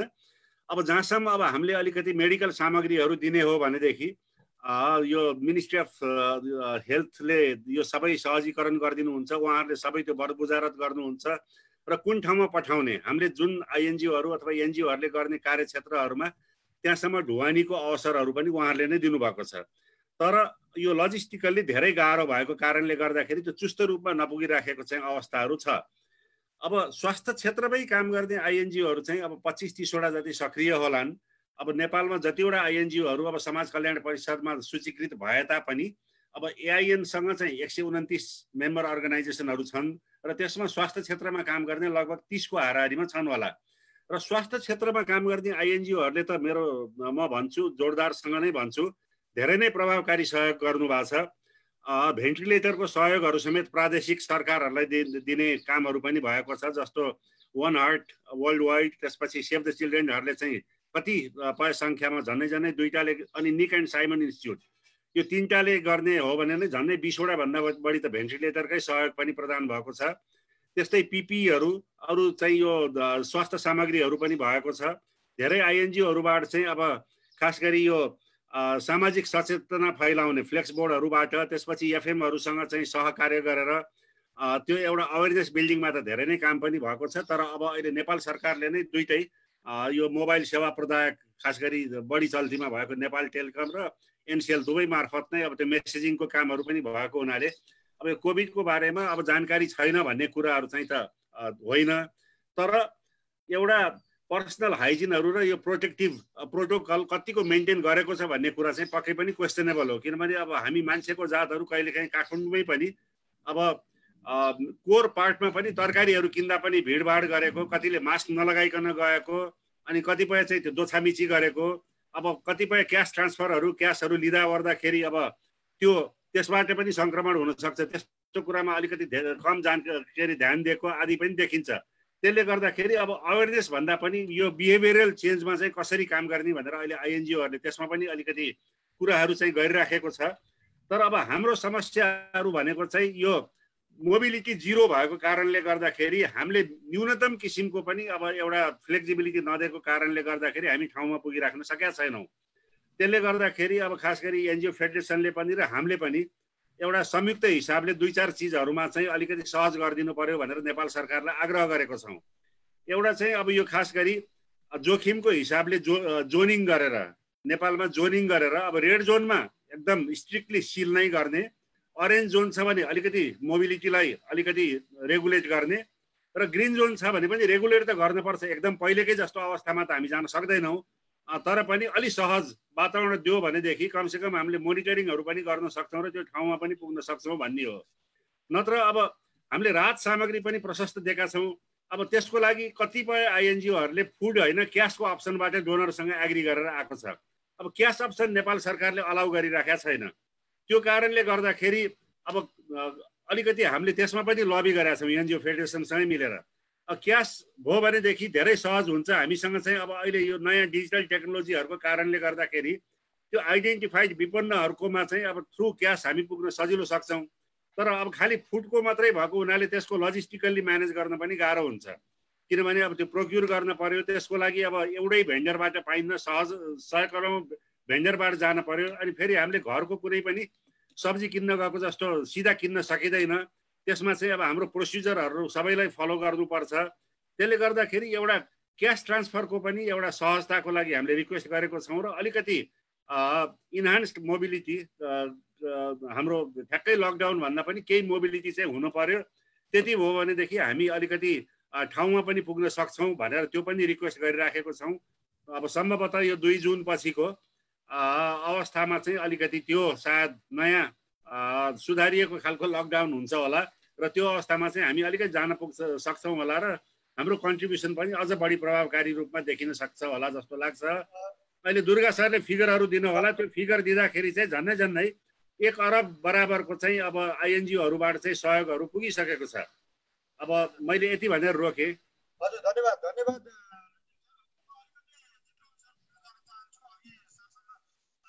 हुन सकेन बिचमा अलिकति अहिले भइरहेको यो गैर सरकारी संस्थाहरूको चुनौतीको बारेमा अलिकति हजुरले राखिदिनुहोस् न जितराम सर ए हस् ल धन्यवाद दिनेश सर यो प्राविधिक गडबडीले अलि हो म जितराम लामा म गैर सरकारी संस्था महासङ्घ नेपाल केन्द्रीय समितिको अध्यक्ष हो काठमाडौँ होइन अहिले भन्दै हुनुहुन्थ्यो सबभन्दा पहिले अहिले यो संसारभरि नै अहिले कोरोनाको सङ्क्रमणको विरुद्ध लडिरहेको सन्दर्भमा हाम्रो आफ्नो आफ्नो भूमिका के हुनसक्छ भनेर यहाँ छलफल गर्ने र अझ प्रभावकारी रूपमा चाहिँ समुदायको स्तरमा नै कोभिडको रोकथाम नियन्त्रण र यसले पार्ने प्रभावलाई न्यूनीकरण गर्ने सन्दर्भमा हाम्रो सबै इफोर्टहरू लाउनुपर्ने सन्दर्भमा यो संस्थाले जुन कार्यक्रम आयोजना गर्नुभएको छ यसको लागि धेरै धेरै धन्यवाद। धेरै कुरा त यो आइसकेको नै छ। हामी सङ्घ संस्थाहरूले के गरिरहेको छ भन्ने सन्दर्भमा यहाँ जाइरहेछ सुरु सुरुको दिनहरूमा अलिकति कन्फ्युजन पनि सिर्जना भयो। नेपाल सरकारले सङ्घ संस्था विशेष गरी राष्ट्रिय तथा अन्तर्राष्ट्रिय सङ्घ संस्थाहरू एनजिओ आइएनजिओको मोबिलाइजेसन अलि त्यति धेरै जरुरी नभएको जस्तो र हामीले सहयोगको पनि अपेक्षा सहयोगको आह्वान पनि नगरेको र हामीले पनि बाहिर लकडाउन स्ट्रिक्टली पालन गर्नुपर्ने हामी नै गर्छौँ भन्ने हिसाबले पनि कुरा आएको हुनाले केही ढिलो चाहिँ भएको थियो र तर पनि यो विशेष गरी चैत्र चौबिस गति जुन मन्त्री परिषदको निर्णय भयो त्यसमा चाहिँ सङ्घ संस्थाहरूको लाई चाहिँ कोभिड नाइन्टिनको सङ्क्रमण रोकथाम नियन्त्रण उपचारको अभियानमा लाग्ने र एउटा कार्ययोजना बनाउने भनेर जब यो मन्त्री परिषदले निर्णय गर्यो त्यसपछि हामी सँगसँगै बस्यौँ अन्तर्राष्ट्रिय गैर सरकारी संस्थाको अध्यक्ष पनि अजित सरले भनिसक्नु भएको छ। हामी समाज कल्याण परिषद हामी सँगै बसेर जोइन्टमा हामीले कार्ययोजना बनाएर नेपाल सरकारबाट मन्त्री परिषदबाट पास पनि गरिसक्यो र त्यस अन्तर्गत अहिले चाहिँ कार्यविधि पनि तयार गरेर सङ्घ संस्थाहरूको समन्वय र परिचालन गर्ने सन्दर्भमा कार्यविधि पनि बनाएको छ। र यसै सन्दर्भमा अर्को चाहिँ नेपाल सरकारको स्वास्थ्य मन्त्रालयले पनि सङ्घ संस्थाहरू र यसको सम्बद्ध निकायले परिचालन गर्नको लागि सोसियल एक्सन र नेटवर्किङ कमिटी पनि छुट्टै बनाएको छ। त्यो अन्तर्गत पनि हामी रिपोर्टिङ गर्ने काम गर्ने काम गरिरहेको अवस्था छ। र हामीले सङ्घ संस्थाले तत्कालै यो कोभिडको सन्दर्भमा के गर्नुपर्ने काम के हो र के गरिरहेको छ भन्ने सन्दर्भमा यहाँ अलिकति बढी छलफल भएको हुनाले हामीले गरेको कामको विषयमा त जनचेतना अभिवृद्धि गर्ने कामहरू जनचेतना फैला चेतना जगाउने कामहरू विशेष गरी कोभिड नाइन्टिनको रोकथाम नियन्त्रण र यसबाट बच्ने उपायको सन्दर्भमा त्यसरी क्वारेन्टाइनको सरसफाइ कुराहरू भनौँ न व्यक्तिगत भौतिक दूरी कायम गर्ने सन्दर्भमा रेडियोबाट टेलिभिजनबाट अब सामाजिक सञ्जालबाट सबैबाट चाहिँ हामीले सन्देश पठाउने समुदाय स्तरमै पनि हाम्रो सङ्घ संस्थाले काम गरिरहेको अवस्था पनि छ पालिकासँग मिलेर हरेक पालिका पालिकामै त्यहाँ भएको स्थानीय संस्थाले काम गरेको अवस्था त छँदैछ। त्यसबाहेक राहत वितरणमा पनि हामीले एकदम अगाडि नै हामी हाम्रो नेपाली सामाजिक संस्थाहरू अग्रभागमा रहेर काम गर्दै आइरहेको पनि देखिएको छ। गरी अन्तर्राष्ट्रिय सङ्घ संस्था र नेपाली सङ्घ संस्थाहरू मिलेर हामीले राहत वितरण कामहरू उदार राहत वितरण र क्वारेन्टाइनको व्यवस्थापन र मा पनि हामीले सहयोग गरिरहेका छौँ र धेरै क्वारेन्टाइन अफिसरहरू सङ्घ संस्थाको भवनहरूलाई सान्दै भवन पनि प्रयोग गर्दै आइरहेको छ। त्यो हिसाबले हाम्रो भूमिका भनेको चाहिँ तत्कालको लागि गर्ने काम पनि हामीले भूमिका निर्वाह गर्दै आइरहेको छ। अब यो तत्काल गर्ने कामले मात्र होइन कि अब हामी चाहिँ दीर्घकालीन रूपमा र कोभिड उन्नाइसले पार्ने प्रभावलाई न्यूनीकरण गर्ने गरी के काम गर्न सक्छौँ भन्ने हिसाबले अब लाग्नुपर्ने हुन्छ। अहिले तत्कालै हामीले गर्ने कामहरू भनेको अब पनि अब कन्टिन्यू अहिले चौसठी दिन पुगेको छ लकडाउन। अब जुन दुईमा अब बाटो नयाँ ढङ्गले सोच होला किनभने निश्चित लकडाउनको मोडालिटी पनि चेन्ज गर्ने भन्ने छलफल पनि भइराखेकै छ। तर हामीले चाहिँ अहिले तत्कालीन नेपाली सङ्घ संस्थाहरूले यो ठुलो क्षेत्र छ करिब करिब हाम्रो सबै जिल्लामा पालिका लेभलसम्म पनि हामीले काम गरिरहेको सन्दर्भमा हाम्रो सङ्घ संस्थाहरूको कार्यक्रमलाई तिन भागमा विभाजन गरेर काम गर्नुपर्छ भनेर हामीले तयार गरेका छौँ कार्यविधि पनि बनाएका छौँ। तत्काल गर्नुपर्ने काम के के हुन्? मध्यकालीन कार्यक्रमहरू के के हुन सक्छन् दीर्घकालीन रूपमा चाहिँ यो कोभिड नाइन्टिनको रोकथाम नियन्त्रण र यसबाट पार्ने प्रभावलाई चाहिँ सम्बोधन हुने गरी के कस्ता कार्यक्रमहरू बनाउन सकिन्छ भन्ने सन्दर्भमा हामीले छलफल गरेका छौँ। र तत्कालै गर्नुपर्ने कुराहरूमा चाहिँ राहत वितरण कामले कन्टिन्यू गर्नुपर्ने हुन्छ। किनभने अहिले पनि धेरै मान्छेहरू चाहिँ अहिले दुई महिनाभन्दा बढी भएको छ। लकडाउन खोलिसके पछाडि पनि धेरै यो खाद्य सङ्कट हुने र विशेष गरी महिला बालबालिका अपाङ्गता भएका व्यक्तिहरू ज्याला मजदुरी गरेर खानुपर्ने समुदाय त्यसै गरी दलित समुदायहरू हुनसक्छ अरू समुदाय जुन सीमान्तकृत वर्ग छ यी सबै समुदायहरू बढी भिक्टिममा हुने भएको हुनाले तिनीहरूलाई चाहिँ कसरी चाहिँ व्यवस्थापन गर्ने सहयोग गर्ने भन्ने कुरा पनि हामीले सँगसँगै लानुपर्छ। र अहिले पनि हामी के भन्छौँ भने राहत वितरण गर्दाखेरि सामग्री वितरण खाद्य सामग्री भन्दा पनि क्यास फर वर्क मोडलबाट जानुपर्छ। तत्कालै लकडाउन खोलिसकेपछि कामको गराउने र राहत चाहिँ नगदबाट दिने काम गराएर नगद दिने मोडेलबाट जानुपर्छ भन्ने हिसाबले हामी लागेका छौँ। र राहत वितरण गर्दा पनि नगदै दिनुपर्छ भनेर अघि अजित सरले पनि कुरा गरिसक्नु भएको छ। हामी त्यो मोडेलबाट जानुपर्छ। अर्को जीवि जनजीविका सम्बन्धी काम गर्नुपर्छ। अब हाम्रो फोकस भनेको दैनिक ज्याला मजदुरी गर्ने औपचारिक अनौपचारिक क्षेत्रमा असङ्गठित रूपमा काम गर्ने श्रमिक त्यसै अप्रवासी श्रमिकहरू तिनका परिवारहरू त्यसै गरी महिला बालबालिका ज्येष्ठ नागरिक अपाङ्गता भएको व्यक्ति एकल महिला त्यस्तै दलित यौनिक अल्पसङ्ख्यक गर्भवती सुत्केरी महिलाहरू यी एकदमै समस्या विकट क्षेत्रमा बस्ने समुदायहरू एकदमै के अरे भलरेबल कम्युनिटी हुन्। र तिनीहरूलाई केन्द्रबिन्दुमा राखेर हामीले हाम्रो गति जनजीविका रोजगार सृजना गर्ने काम गर्नुपर्छ। अर्को हामीले कन्टिन्यू गर्ने काम भनेको जनस्वास्थ्यका कामहरू विशेष गरी स्वास्थ्य संस्थामा चाहिँ स्वास्थ्य उपकरणहरू दिने। व्यक्तिगत हाइजिनको कुरा पर्सनल हाइजिनको कुराहरू त्यसै क्वारेन्टाइनको चाहिँ गुणस्तर अवृद्धि गर्ने कुराहरूमा पनि हामीले सहयोग गर्नै पर्छ र खाद्यान्न सुरक्षा सरसफाइ लगायत कुराहरू यो इक्विपमेन्ट कुरा मेडिकल इक्विपमेन्टहरू चाहिँ अहिले हामीले अभाव भएको त्यतापट्टि हामीले काम गर्नुपर्ने हुन्छ र त्यस सँगसँगै शिक्षा स्वास्थ्य खानेपानी सरसफाइ र कृषि क्षेत्रमा अलिकति बढी हामी लाग्नुपर्ने देखिन्छ तत्कालै किनभने हामी हाम्रो देश कृषि चाहिँ कृषि प्रधान मुलुक हो। र अहिले धेरै बाहिरबाट आउनेहरू युवा जनशक्तिहरू धेरै बेरोजगार युवाहरू नेपाल आउँदैछ भने नेपालमा भर्खरहरू पनि धेरै रोजगार गुमाएका छन्। र तिनीहरूले अब इन इन्गेज गराउने भनेको सस्टेनेबल एग्रिकल्चर म्यानेजमेन्टको हिसाबले कमर्सियल भेजिटेबल फार्मिङ हुनसक्छ अर्ग्यानिक कुनै हुनसक्छ। त्यसमा इन्भल्भ गराउनुपर्छ विशेष गरी कृषिमा बिउ बिजन पशुपालन जडीबुटीको उपयोग र त्यसरी सामुदायिक वनको व्यवस्थापन कुराहरू हुनसक्छ। यस्ता कार्यक्रमहरूमा चाहिँ अलिकति हामीले इन्गेज गराउनुपर्छ। र अर्को कुरा स्वयंसेवक परिचालन गर्ने कामले सँगसँगै हामीले लानै पर्ने हुन्छ। यो चाहिँ हामीले अत तत्काल गर्नुपर्ने काम भयो। अब मध्यमकालीन रूपमा चाहिँ तत्कालै लकडाउन खोलिसकेपछि के गर्ने भन्ने सन्दर्भ पनि हामीले चाहिँ अहिले एउटा अहिले प्लान गरेका छौँ र प्लान गर्नुपर्छ हामी सङ्घ संस्थाले भनेका छौँ। यो कार्यक्रम मार्फत यहाँ सुनिरहनु भएका धेरै साथीहरू बाहिर पनि हुनुहुन्छ होला। उहाँहरूले पनि के भन्छ भने हामीले गर्ने कार्यक्रमहरूलाई कोभिड नाइन्टिनको रोकथाम नियन्त्रण र यसले पार्ने प्रभावलाई सम्बोधन हुने गरी हाम्रो कार्यक्रम डिजाइन गर्नुपर्छ। किनभने यो वर्ष हाम्रो रेगुलर डेभलपमेन्ट एक्टिभिटिजहरू जुन हामीले स्वीकृति दिएका कार्यक्रमहरू खर्च हुने सम्भावना कम छ। किनभने यो चाहिँ यो कोरोनाको प्रभाव चाहिँ अझै लम्बिने सम्भावना छ र यो डिसेम्बरसम्ममा यो वर्ष हामीले प्लान गरेको बजेट यो वर्ष खर्च हुने सम्भावना कम छ। त्यसैले कोभिडलाई चाहिँ सँग सम्बन्धित रहेर यो खर्च गर्नुपर्छ किनभने यो वर्ष खर्च गऱ्यो भने त्यो पैसा फेरि विदेश उतै फर्किने सम्भावना अलिक बढी छ। किनभने अहिले चाहिँ सबै हाम्रा जुन जसले सपोर्ट गर्नुपर्ने हाम्रा चाहिँ डोनर कन्ट्रीहरू आफै समस्यामा छ। उहाँहरूको उहाँहरूको पनि अहिले चाहिँ कोभिडले बढी मा महामारीको रूपमा फैलिसकेको र त्यही नै फन्डिङ चाहिँ त्यही अभाव हुने सम्भावना भएको हुनाले नेपालमा आइसकेको पैसा र नेपालमा खर्च भएन भने त्यो उतै जाने सम्भावना अलिक बढी छ। त्यो भएको हुनाले नेपालमै खर्च गर्ने गरी हाम्रो कार्यक्रमलाई चाहिँ यसलाई कोभिडसँग सम्बन्धित चाहिँ एमेन्डमेन्ट गरेर हुन्छ कि यसलाई चाहिँ नयाँ ढङ्गले चाहिँ यसलाई रिडिजाइन गरेर हुन्छ कि यसलाई चाहिँ खर्च गर्नुपर्छ। समाज कल्याण परिषदले पनि बिस पर्सेन्टसम्म पैसा चाहिँ तत्कालै हामीले खर्च गर्ने कोभिडलाई रेगुलर कार्यक्रमलाई यतापट्टि रकमान्तर गर्न सकिने त्यसले एप्रुभल लिने भनेर अस्ति निर्णय पनि गरिसक्यो जानकारी निर्णय पनि गरिसकेको छ र त्यो अनुसार अगाडि पनि बढिसकेको धेरै स्थिति छ।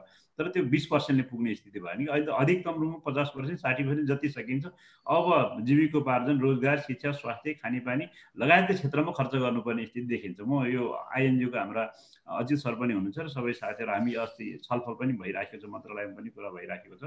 र त्यो हिसाबले जीविको जीविकोपार्जनको सन्दर्भमा रोजगार सिर्जना गर्ने सन्दर्भमा हामीले अलिकति बढी फोकस गर्नुपर्ने हुन्छ। र यसमा चाहिँ देशमा रहेको युवा जनशक्ति र विदेशबाट फर्केका युवा रोजगार गुमाएका जनशक्तिहरू छ। त्यसलाई उत्पादनमूलक व्यवसायमूलक र आयोजन गर्ने र रोजगार सिर्जना गर्ने काममा लाग्नुपर्छ। हामी नेपाली सङ्घ संस्थाहरूले अहिले के ढङ्ग नयाँ ढङ्गले छलफल गरेका छौँ? हामी चाहिँ सोसियल इन्टरप्रेनरसिप डेभलपमेन्ट प्रोग्राम भनेर अगाडि बढ्नुपर्छ भनेर भन्छौँ। सा भनेका छौँ सामाजिक उद्यमशीलता विकास कार्यक्रम भनेर सँगसँगै अगाडि बढ्नुपर्छ हरेक संस्थाहरूले। आफू सस्टेन हुनको लागि पनि आफ्नो कार्यक्रमहरू चलाउनको लागि भए पनि कमसेकम रोजगार सिर्जना गर्ने जीविकोपार्जन अभिवृद्धि गर्ने र सिपमूलक कार्यक्रमहरू सँगसँगै लानुपर्छ भन्ने हिसाबले हामी अगाडि बढेका छौँ र त्यो सायद हामीले यो नयाँ ढङ्गले अगाडि बढ्दैछौँ यो हिसाबले नयाँ कानुन पनि बन्दैछ। र त्यो हिसाबले तत्कालै गर्नुपर्ने कामहरू के के हुनसक्छ दीर्घकालीन कार्यक्रमहरू भन्नाले चाहिँ लङ टर्ममा पनि हाम्रो सङ्घ संस्थाले गर्ने काम भनेको चाहिँ सामाजिक उद्यमशीलता विकास कार्यक्रमलाई कन्टिन्यू गर्नुपर्छ। रोजगार सिर्जना गर्ने कामहरू संस्थाले पनि गर्नुपर्छ। युवाहरूको सिप्स आर्जन गर्ने उत्पादनसँग जोड्ने कामहरूलाई हामीले सँगसँगै लानुपर्छ। त्यसबाहेक पनि जनस्वास्थ्य शिक्षा कृषि सामुदायिक वनको स्रोत व्यवस्था दिगो व्यवस्थापन र त्यसको समुचित प्रयोग स्थानीय स्रोत साधन प्रयोग गर्ने कुराहरू काम गर्नुपर्छ र हामीले जे जति काम गर्छौँ सरकारसँग मिलेर काम गर्नुपर्छ र हामीले गरेको स्थानीय सरकारकै लिडरसिपमा काम गर्नुपर्छ। हामी आफैले गर्ने होइन। हामी स्थानीय सरकारले काम गरिराख्नु भएको छ उहाँको लिडरसिपमा काम गर्ने प्रदेश सरकार हुनुहुन्छ सङ्घीय सरकार हुनुहुन्छ सबैमा चाहिँ हामी उहाँहरू मिलेर काम गर्छौँ भने अर्को कुरा भनेको चाहिँ यो प्रकोप व्यवस्थापनसँग सम्बन्धित कार्यक्रमहरू र जनचेतना फैलाउने स्वयंसेवक परिचालन गर्ने कामहरू त हामीले कन्टिन्यू गर्नै पर्छ। यो हामीले गर्ने कामहरू र यसको मुख्य कुरा भनेको चाहिँ त्यो बाहेक पनि हामी सिभिल सोसाइटी भनेको चाहिँ वाच डगको पनि काम गर्नुपर्छ हामीले। अहिले भइराखेको कामहरूको गुणस्तर कस्तो छ र कसरी काम भइरहेको छ भन्ने अनुगमनको पाटोले पनि हामी सँगसँगै जानुपर्छ। किनभने अहिले यो यस्तो बेलामा चाहिँ मानवाधिकारका उल्लङ्घनका घटनाहरू थुप्रै घटनाहरू घट्ने घटिरहेको र घट्ने सम्भावना छ। घरेलु हिंसाहरू बढिरहेको स्थिति छ। हिजो भर्खर पनि जाजरकोटमा त्यत्रो अमानवीय घटना घट्यो जातीय विवेकको नाममा। यस्ता असङ्ख्य त्यो घटनाहरू घट्ने स्थिति भएको हुनाले हामी नागरिक समाजले बेलैमा सचेत गराउने यसलाई चाहिँ मानवाधिकार आयोगलाई चाहिँ यसलाई जिम्मेवार बनाउने सरकारले जिम्मेवार बनाउने काम पनि गर्नुपर्छ। विशेष गरी हामी नागरिक समाजले अहिले यसमा काम गर्नुपर्छ। हामी गैर सरकारी संस्था महासङ्घ पत्रकार महासङ्घ त्यसरी बार एसोसिएसन र नेपाल राष्ट्रिय मानवाधिकार आयोग हामी मिलेर एउटा देश उच्च स्तरीय अनुगमन संयन्त्र बनाएका छौँ त्यसै प्रदेश स्तरीय संयन्त्र बनाएका छौँ। पालि हरेक पालिकामा सात सय त्रि के अरे सतहत्तरवटै जिल्लामा हामीले एउटा संयन्त्र बनाएर अनुगमन संयन्त्र बनाएर काम गरेको छ। यसले चाहिँ विशेष गरी सरकारले अहिले गरिरहेको कामहरूको सन्दर्भमा अनुगमन गर्छ। स्वास्थ्य उपचारको अवस्था के छ?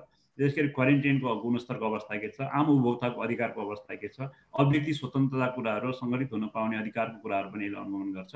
त्यो बाहेक पनि यस्तो बेलामा चाहिँ नागरिकहरूको कर्तव्य र यस यो कोभिड र लगायत यस्तो बेलामा चाहिँ मानव अधिकार उल्लङ्घनको घटनाहरू धेरै हुने भएको हुनाले मानव अधिकारको आधारभूत सिद्धान्त र मानव प्रतिष्ठाको संरक्षणको क्षेत्रमा मैले सामाजिक संस्थाले काम गर्नुपर्ने हुन्छ।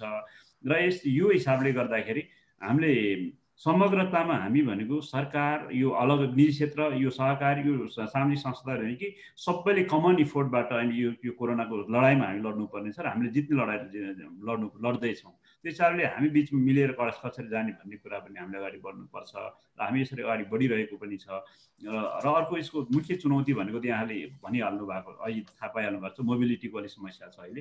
किनभने यो भनेको अरू विपदभन्दा फरक विपद हो। यसले चाहिँ आफू बाँच्ने र अरूलाई पनि बचाउने हुन्छ कि? हिजो चाहिँ भूकम्प निश्चित ठाउँमा मात्र भयो बाढी पहिरो निश्चित ठाउँमा आगलाई निश्चित ठाउँमा हुन्छ र समग्र यसले संसारभरि यसले प्रभाव पार्दैन। तर कोभिड यस्तो हो कि जो घरभित्रै बस्नुपर्ने र सोसियल डिस्टान्सिङ भन्नु फिजिकल डिस्टान्स पनि कायम गर्नुपर्ने र समुदायमा लगाएर विपन्न र जुन समस्यामा परेको समुदायले सहयोग पनि गर्नुपर्ने। यो एकदम विचित्रको छ क्या यो हिसाबले गर्दा यसमा के गरेन के गर्यो भन्नुभन्दा पनि हामी मोबिलिटी पनि समस्या भयो किनभने यहाँ हामीसँग पासको व्यवस्था पनि भएन। सँगसँगै अगाडि हामी जुन एक ठाउँबाट अर्को ठाउँमा रेगुलर हाम्रो भोलिन्टियर मोबिलाइजेसन गर्नु पनि समस्या छ। यो समस्यालाई पनि यहाँले बुझिदिनुपर्छ। विशेष गरी यहाँ चाहिँ हामी सङ्घ संस्थाले के गर्यो के गरेन भन्ने भने कि हामीले सक्ने जति हाम्रो आफ्नो स्रोत साधन भएसम्म गरेकै छ र योभन्दा धेरै यो यत्रो प्रतिकूलताका बावजुद पनि नेपाली संस्थाले जसरी गर्नुभएको छ हाम्रो सामुदायिक संस्थाले जसरी काम गर्नुभएको छ स्थानीय सङ्घ संस्थाहरूले क्लबहरूले जसरी काम गर्नुभएको छ यो अत्यन्त सराहनीय छ। चाहे यो बाटोमा हिँड्नेहरूलाई पानी वितरण गर्नेदेखि लिएर जुत्ता चप्पलदेखि लिएर चिया पा खाजा खुवाउनेदेखि लिएर एक ठाउँबाट अर्को ठाउँमा लानेदेखि लिएर धेरै कामहरू गर्नुभएको छ। अरू रिसोर्स ग्याप एकदमै समस्या हुनेवाला छ किनभने हामीसँग हरेक हाम्रो चाहिँ डोनर कन्ट्रीहरू पनि एक समस्या हुन्छ अघि मैले भनिहालेँ। र नेपालमा चाहिँ फरेन फरेन फन्डिङ चाहिँ एकदमै घट्नेवाला छ। र अहिले भएको अरे एक्जिस्टिङ अहिले हामीसँग भएको खर्च भएको रिसोर्स पनि खर्च गर्न समस्या छ। त्यो भएको हुनाले आगामी दिनमा चाहिँ के हुन्छ स्थानीय स्रोत साधन र नेपालमै भएको स्रोतलाई प्रयोग गरेर नेपाली संस्थाहरू कसरी चाहिँ आफू चाहिँ दिगो रूपमा सञ्चालन गर्ने र मानवाधिकारका कुराहरूलाई लोकतन्त्रका कुराहरू जनजीविकाका कुराहरू त्यसै गरी सिपमूलक कुराहरू सचेतना कुराहरू चाहिँ कसरी सञ्चालन गर्ने भन्ने सवालमा अहिलेदेखि नै हामी सोच्नुपर्ने बेला भएको छ। किनभने हामी अहिलेसम्मको हाम्रो सोसियल भ्यालुज हाम्रो नेपाली संस्थाले गरे काम भनेको चाहिँ के हो भन्दा डो डोनरबाट आइएनजिओबाट डोनर कन्ट्रीबाट डोनरहरूबाट पैसा ल्याउने र हामीले समुदाय समुदायमा लगाएर इम्प्लिमेन्ट गर्ने मात्रै हाम्रो भूमिका छ। अब डोनरको पैसाबाट हो भने कि हामीले इन्टरनल रिसोर्स मोबिलाइजेसन कसरी गर्ने र आफै चाहिँ आफूले चाहिँ उद्यमी कसरी बन्ने भन्ने हिसाबले पनि हामीले सोच्नुपर्छ नयाँ ढङ्गले सोच्नुपर्छ। त्यसरी अहिले अहिले नयाँ अहिले भर्खर पनि अस्ति नीति तथा कार्यक्रम पनि पास भएको छ नेपाल सरकारले अहिले भोलि बजेट भाषण पनि आउँदैछ। यो वर्ष चाहिँ यो महिला बालबालिका तथा ज्येष्ठ नागरिक मन्त्रालयबाट को नेतृत्वमा एकीकृत सामाजिक विकास ऐन ल्याउने भनेर पनि ल्या ल्याइने छ भन्ने कुरा भएको छ। र यसमा अहिले ऐनको विषयमा पनि हामीले अहिले छलफल गर्दैछौँ। माननीय मन्त्रीजीको नेतृत्वमा। महिला बालबालिका ज्येष्ठ नागरिक मन्त्रीको नेतृत्वमा त्यसमा पनि हामीले यो कुरालाई अलिक बढी स्ट्रङली उठाउने गरे विचार छ। अहिलेसम्म हामीले जस्तै गऱ्यौँ खबरदारी मात्र गऱ्यौँ पहरेदारी गर्ने काम गऱ्यौँ अधिकारको कुरा बढी उठायौँ लोकतन्त्रको प्रजातन्त्रको र विशेष नागरिक अधिकारको बारेमा कुरा गऱ्यौँ। अब हामीले भनेको आत्मनिर्भर अर्थतन्त्र कसरी बनाउने हामी आफै पनि कसरी लाग्ने भन्ने हिसाबले हामी लाग्नुपर्छ भन्ने हिसाबले हामी यो नयाँ डिस्कोर्सबाट सुरु छलफल गर्दैछौँ। यो फेरि पनि हामी कस्तो ऐन बन्ने र कसरी अगाडि बढ्न सकिन्छ हामी नेपाली संस्थाले कस कुन हिसाबमा फोकस गर्नुपर्छ भनेर पनि हामी लागेका छौँ र हामीले गर्ने भनेको चाहिँ नन प्रफिट सेयरिङ एक्टिभिटिज गर्नुपर्ने छ। अबदेखि हामी नेपाली संस्थाले profit making organize profit making भनेको बिजनेस इन्टिटिल गर्छ। हामी प्रफिट त बनाउँछौँ profit not profit sharing company अर्गनाइजेसनको रूपमा हामी काम गर्छौँ। किनभने हामीले जति हामीले गरेका कामबाट हामीले गरेको उद्यमशील व्यवसायबाट आएको पैसाले समाज सामाजिक रूपान्तरणमा समाज सामाजिक विकासमा काम गर्छौँ। र हामी यहाँ मैले दुर्गा सर पनि देखिरहेको छु हामी एकदम नजिक भएर काम गरेका छौँ। अजित सर हामी अन्तर्राष्ट्रिय संस्थाहरू र नेपाल भएका हरेक महासङ्घहरूसँग पनि हामीले एकदम नजिक भएर काम गरिरहेका छौँ। र साँच्चीकै यो देशमा विपदको बेलामा चाहिँ सङ्घ संस्थाले जसरी विगतका दिनहरूमा आफूलाई चाहिँ सहयोगीको रूपमा चाहिँ मानव मानवीय सहयोगको रूपमा आफूलाई अग्र अग्रभागमा उभिँदै काम गरेको छ। यो खालको विरासतलाई अब झन् यो अहिलेको कोरोना महामारीको हामीले जोड्नुपर्छ र हामीले भनेको चाहिँ मिलेर सरकार गैर सरकारी ऋण क्षेत्र सबैसँग मिलेरै अगाडि बढ्नुपर्छ भन्ने कुरा राखेँ यो अवसर दिनुभएकोमा धेरै धेरै धन्यवाद। धन्यवाद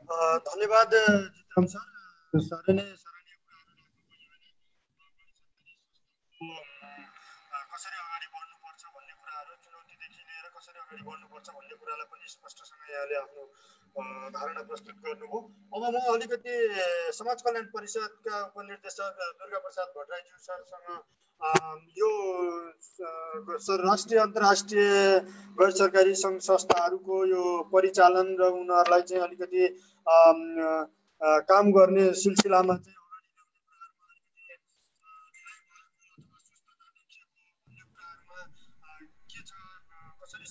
परिषदले यसलाई हेरेको छौ भन्ने कुरामा अलिकति प्रश्न पारिदिनुहुन्छ कि दुर्गा प्रसाद भट्टराई सरले हस्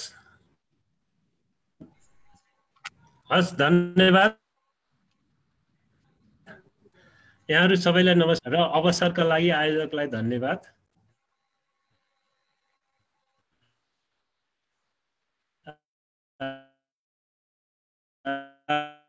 कोभिड नाइन्टिन अलिक कनेक्सन चाहिँ को प्रभाव नेपालमा पर्यो? सम्बोधनका लागि नेपाल सरकारले नीति तथा कार्यक्रम ल्यायो। नेपाल सरकारको नीति र कार्यक्रमलाई सहयोग गर्नको लागि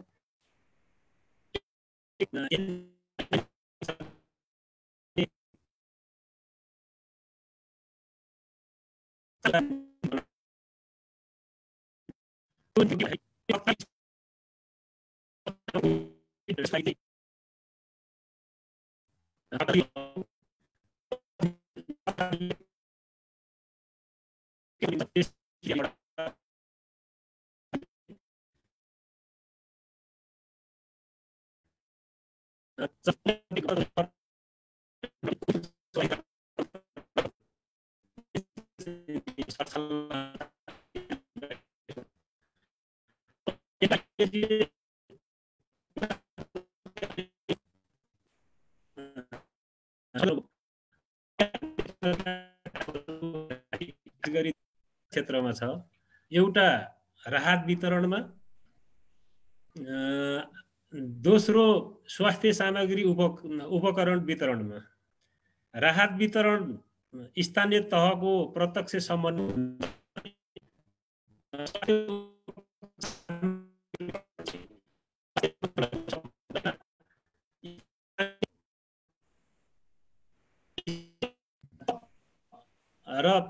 प्रादेशिक तहको समन्वयमा चाहिँ काम भइरहेको छ। अहिले हालसम्मको डेटा हेर्दाखेरि एनजिओ आइएनजिओबाट लगभग एक अर्ब पचास करोड रकमहरू रकम प्रस्ताव र स्वीकृति भइसकेको छ। प्रस्ताव लगभग अब स्वीकृति हुनलाई चाहिँ बिस करोड जति बाँकी छ भनेदेखि अरू चाहिँ स्वीकृति भइसकेको छ परिचालन भइसकेको छ। यसबाट के देखिन्छ भनेदेखि चाहिँ सरकारी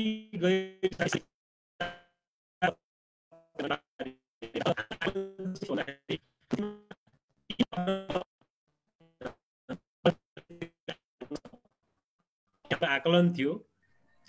त्यो आकलनमा केही अब पाइपलाइनहरूमा हामी निरन्तर सम्पर्कमा छौँ। निरन्तर सम्पर्कमा छौँ। तिन अर्बको हाम्रो चाहिँ अनुमान हुन सक्ने अझै पनि हामी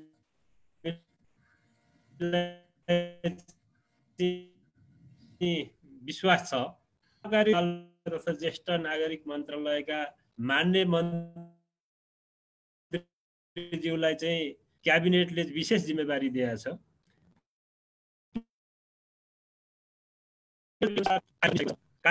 ले एउटा स्टेरिङ कमिटी बनाएको छ।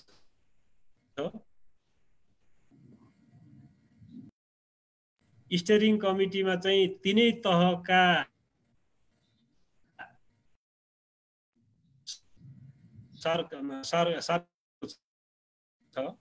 सामाजिक विकास मन्त्रीज्यू सम्बन्धित मन्त्रीहरू र समेत संलग्न चाहिँ एउटा स्टेरिङ कमिटी बनाएको छ। त्यो स्टेरिङ कमिटीले चाहिँ अहिले तिनवटा कार्यविधिहरू ड्राफ्ट गरिसकेको छ। अब यो कार्यविधि आए पछाडि अझ सङ्घ संस्था परिचालनमा चाहिँ व्यापकता आउनेछ प्रभावकारिता आउनेछ र नयाँ रणनीतिहरू चाहिँ सिकाइका आधारमा आउनेछन् भन्ने हामीलाई चाहिँ लागेको छ। र भूकम्पमा जुन किसिमको चाहिँ एनजिओ आइएनजिओबाट अग्रभागमा बसेर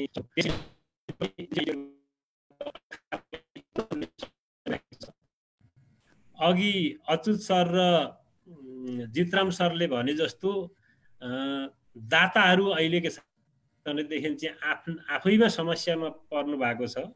त्यस कारणले भूकम्पमा जुन किसिमको सहयोग आयो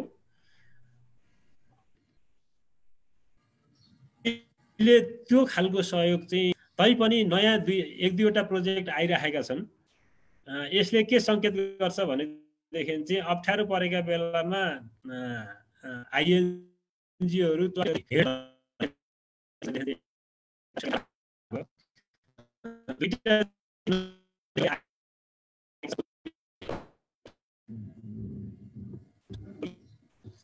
हौसला पनि दिएको छ। आशा गरौँ सरकारी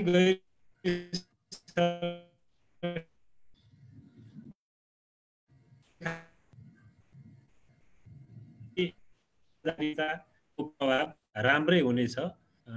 धन्यवाद।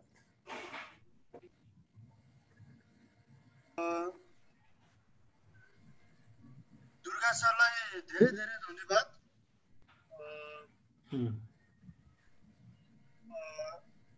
दुर्गा सरलाई धेरै धेरै धन्यवाद। यस विषयमा अलिकति कसरी समाज कल्याण परिषदले यसलाई हेरेको छ भन्ने विषयमा अलिकति प्रश्न पारिदिनु भयो र अब अब हामी यो स्थानीय लेभलदेखि नै कसरी यसलाई चाहिँ आगामी दिनका चाहिँ नि यो महामारीलाई कसरी समाधान गर्न सकिन्छ यो राष्ट्रिय अन्तर्राष्ट्रिय गैर सरकारी सङ्घ संस्थाहरूसँग गरेर यो कसरी नियन्त्रण गर्न सकिन्छ भन्ने विषयलाई अलिकति समाधानको उपायबाट हामी कसरी जान सकिन्छ भन्ने विषयलाई यहाँहरूको हामी धारणा लिन चाहन्छौँ। अब म अलिकति सङ्घीय सांसद तथा सामाजिक विकास संसदीय समितिका सदस्य माननीय सुरेश राईज्यूलाई अलिकति यस विषयमा कसरी स्थानीय रूपमा यसलाई चाहिँ लान सकिन्छ अथवा समन्वयात्मक भूमिका के के रहने भन्ने कुरामा आफ्नो कुरा राखिदिनु हुन अनुरोध गर्दछु।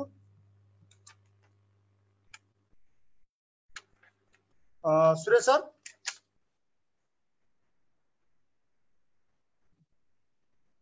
Suresh sir sound sound Suresh sir. हजुरको माइक्रो माइक्रोफोन। हजुर सुनियो। हजुर सुनियो सुनियो थ्याङ्क यू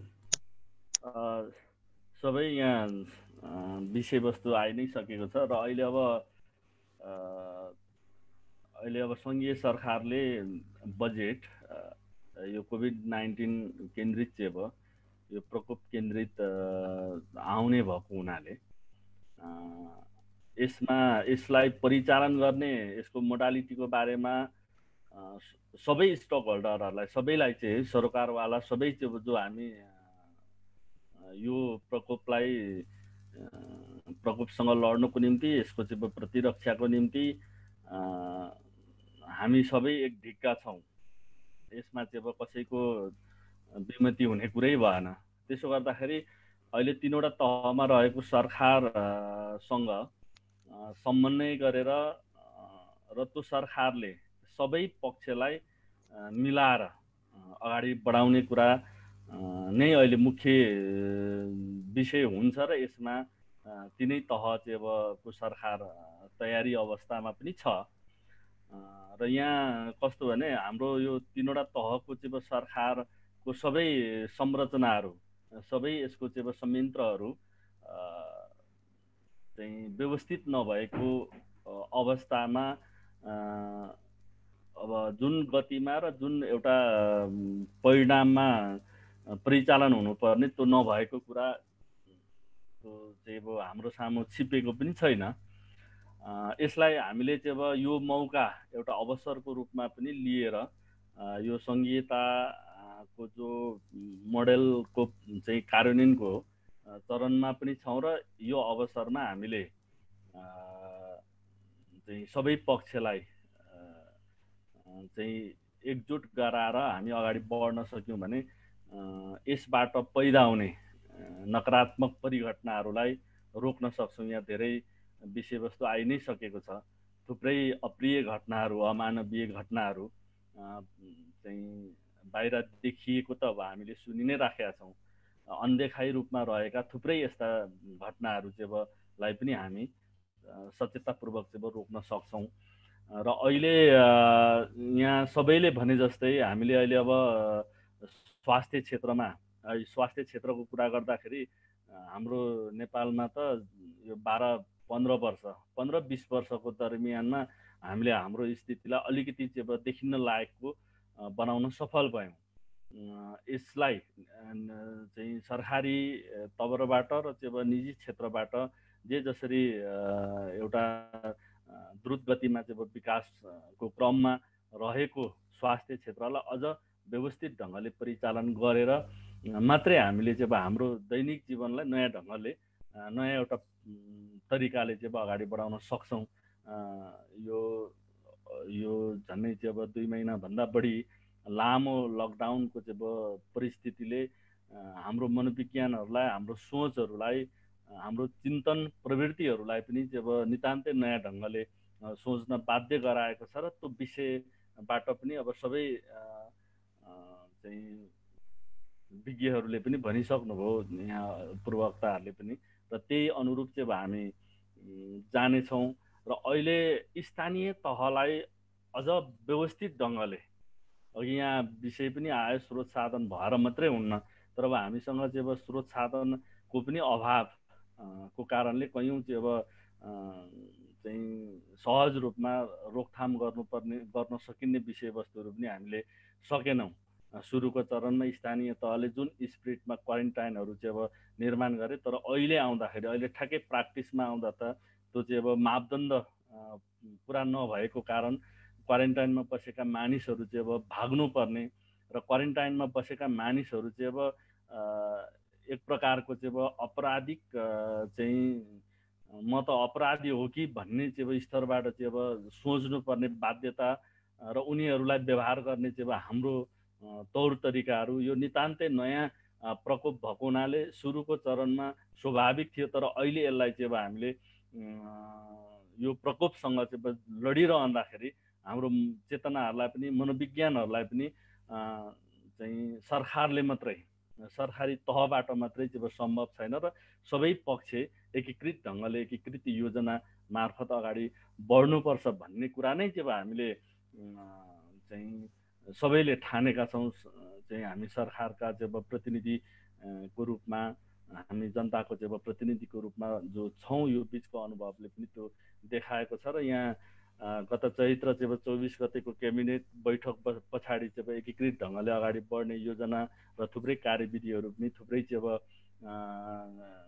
चाहिँ अहिले डोनेसनको अवस्था बजेटहरूको अवस्था र खास गरेर अहिले राहत उपलब्ध गराउने चाहिँ सन्दर्भमा जे एउटा चाहिँ कोअपरेट भावना देखियो यसलाई चाहिँ हामीले व्यवस्थित ढङ्गले एउटा संयन्त्र मार्फत अगाडि बढ्न सक्यौँ भनेदेखि यो चाहिँ कति लामो समयसम्म जान्छ त्यो समय अवधिसम्म हामीले चाहिँ अब कमभन्दा कम यो यो प्रकोपबाट चाहिँ अब क्षति हुने र चाहिँ अब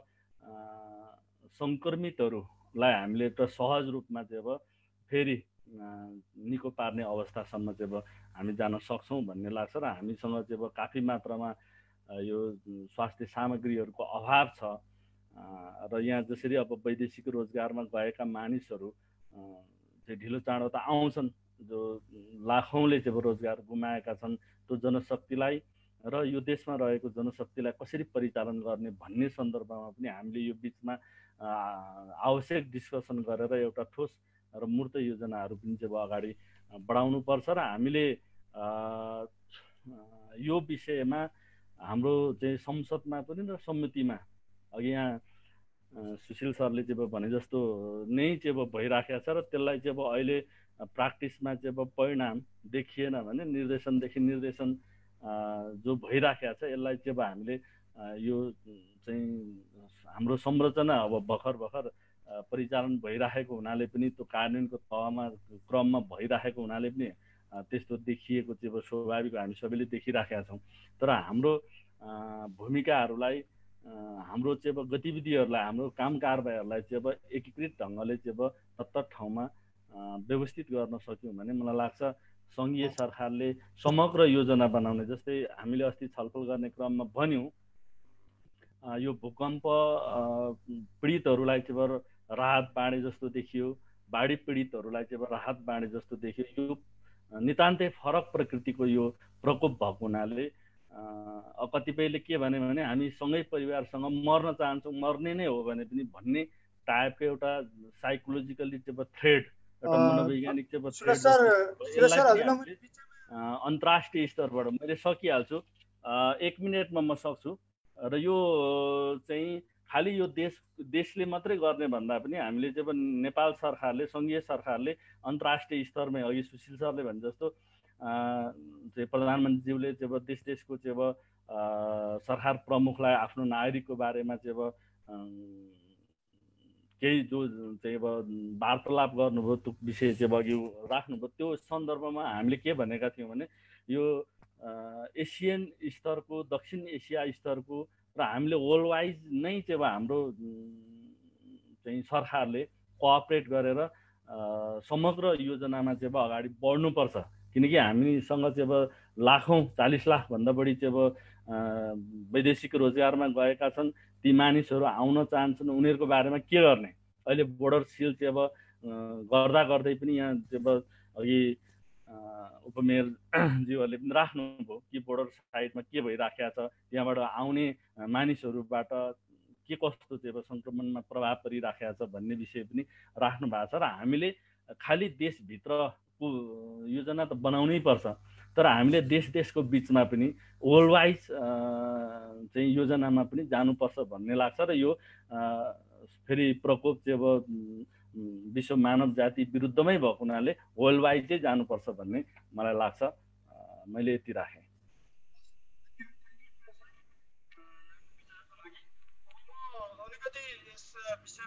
हामीले यो अघि हामी मैले बिचमा रोकेको थिएँ हाम्रो अन्तर्राष्ट्रिय गैर सरकारी संस्था महासङ्घका अध्यक्ष अच्युत सरलाई।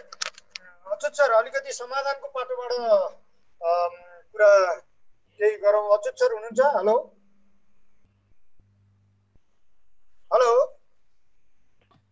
हजुर म छु। हजुर अब अब अलिकति समाधानको यो भनौँ न आगामी दिनका चाहिँ नि कसरी अगाडि बढ्ने भन्ने विषयलाई अलिकति प्रस्ताव पारेर हजुरले आफ्नो विचारलाई अब यो समाधानको उपायको लागि त अब हामी सबैले धेरै नै माथापच्ची गर्नुपर्छ किनभने यो कोभिड भनेको तुरुन्त जानेवाला छैन। त्यो अहिले यो भनौँ न ग्लोबल पेन्डेमिक भनेर यसलाई घोषणा गर्नुको कारण पनि त्यही नै हो। किनभने अब भ्याक्सिन भन्ने कुराहरू अब अहिलेसम्म केही पोजिटिभ सङ्केतहरू देखेका छन् तर भ्याक्सिन कमर्सियली उपलब्ध हुने भनेको कमसेकम पनि नौ महिना वर्ष दिनसम्मको कुरा हो। र त्यो बेलासम्म कति क्षति हुनसक्छ भन्ने कुराहरूको अब आँकडाहरू हामीलाई अनुमान गर्न पनि गाह्रो छ। र जुन किसिमले अब अनियन्त्रित एउटा हुलका हुल मान्छेहरू नेपाल पसेको सन्दर्भमा र तिनीहरू बिस्तारै गाउँमा जाँदाखेरि अब गाउँमा कुन लेभलको सङ्क्रमणहरू हुन्छ होइन? ती कारणले गर्दाखेरि सबैभन्दा पहिला कुरो त अब बिहेभियरल चेन्ज नै हो। यो कोभिड हामीसँग केही समय रहने भएको कारणले गर्दाखेरि अब खास गरी हामीले भलनरेबल पिपुलहरूलाई चाहिँ असाध्यै जोगाउनै पर्छ जसरी पनि घरबाट बाहिर निस्किन नदिएर हुन्छ कि के गरेर हुन्छ। तर अरू मान्छेहरूले चाहिँ बिस्तारै बिस्तारै यसलाई फेस गर्ने र यस एउटा इम्युनिटी चाहिँ हासिल गर्नुपर्ने अवस्था चाहिँ जरुरी हुन्छ। अब धेरै जस्तो ठाउँमा एउटा भन्छ पनि कतिपय महामारीमा चाहिँ त्यो हर्ड इम्युनिटी भनेर बढाउनुपर्छ भनेर। अब अहिले धे केही केही मुलुकहरूले हर्ड इम्युनिटीकोतिर पनि केही अगाडि बढिराखेको देखिन्छ। त्यो भन्नुको अर्थ होइन यो सबै छोड्दा छोडेर अब एकदमै भनौँ न लकडाउन पनि हुनु हुँदैन। पहिलेकै जस्तै नर्मलमा जाने भन्ने कुरो होइन। अब न्यू नर्मल आउँछ। त्यो भनेको अब कतिपय कार्यालय सञ्चालन गर्दाखेरि पनि अहिलेको आधुनिक प्रविधिहरूलाई चाहिँ युज गरेर धेरै भेला नहुने अब यस्तै खालको जुम मिटिङहरू हामीले गरिराखेका छौँ। यो प्रभावकारी पनि भइराखेको छ। त्यसले गर्दाखेरि कतिपय चिजमा त अब हाम्रा खर्चहरू बचत पनि हुन सक्छन्। टेक्नोलोजी छँदैछ। हामी यसरी उपलब्ध हुन सक्दै सकिहाल्छौँ अनलाइनमा। भनेपछि सबैले गाडी चलाएर त्यो बैठक अनि त्यसपछि त्यसमा त्यसका अरू लजिस्टिक्सहरू आवश्यक पनि नपर्ला। त्यसले गर्दा यस्तो चिजहरू मिनिमाइज गर्दै एउटा नयाँ तरिकाबाट काम गर्दै जानुपर्नेहरू देखिन्छ। जहाँसम्म गाउँतिरको कुराहरू छ यो सचेतना अभिवृद्धि अझ बढी गराउने र सकेसम्म त्यो नयाँ मान्छेहरू आउँदाखेरि चाहिँ अब त्य- त्यस मान्छेबाट अर्कोमा सङ्क्रमण हुने सम्भावना घटाउनको लागि सबैभन्दा बढी त यो सचेतना र यो बिहेभियरल चेन्जमा नै सबभन्दा बढी हामीले ध्यान दिनुपर्छ। अनि अर्को कुरो भनेको चाहिँ अब यो टेस्ट किटहरू अलिकति भएन। अस्ति मेरो दुई दिन अगाडि चाहिँ स्वास्थ्य मन्त्रालयमा कुराकानी भएको थियो। र अब केही टेस्ट किटहरू चाहिँ सिङ्गापुरबाट ल्याउनलाई सम्भव छ।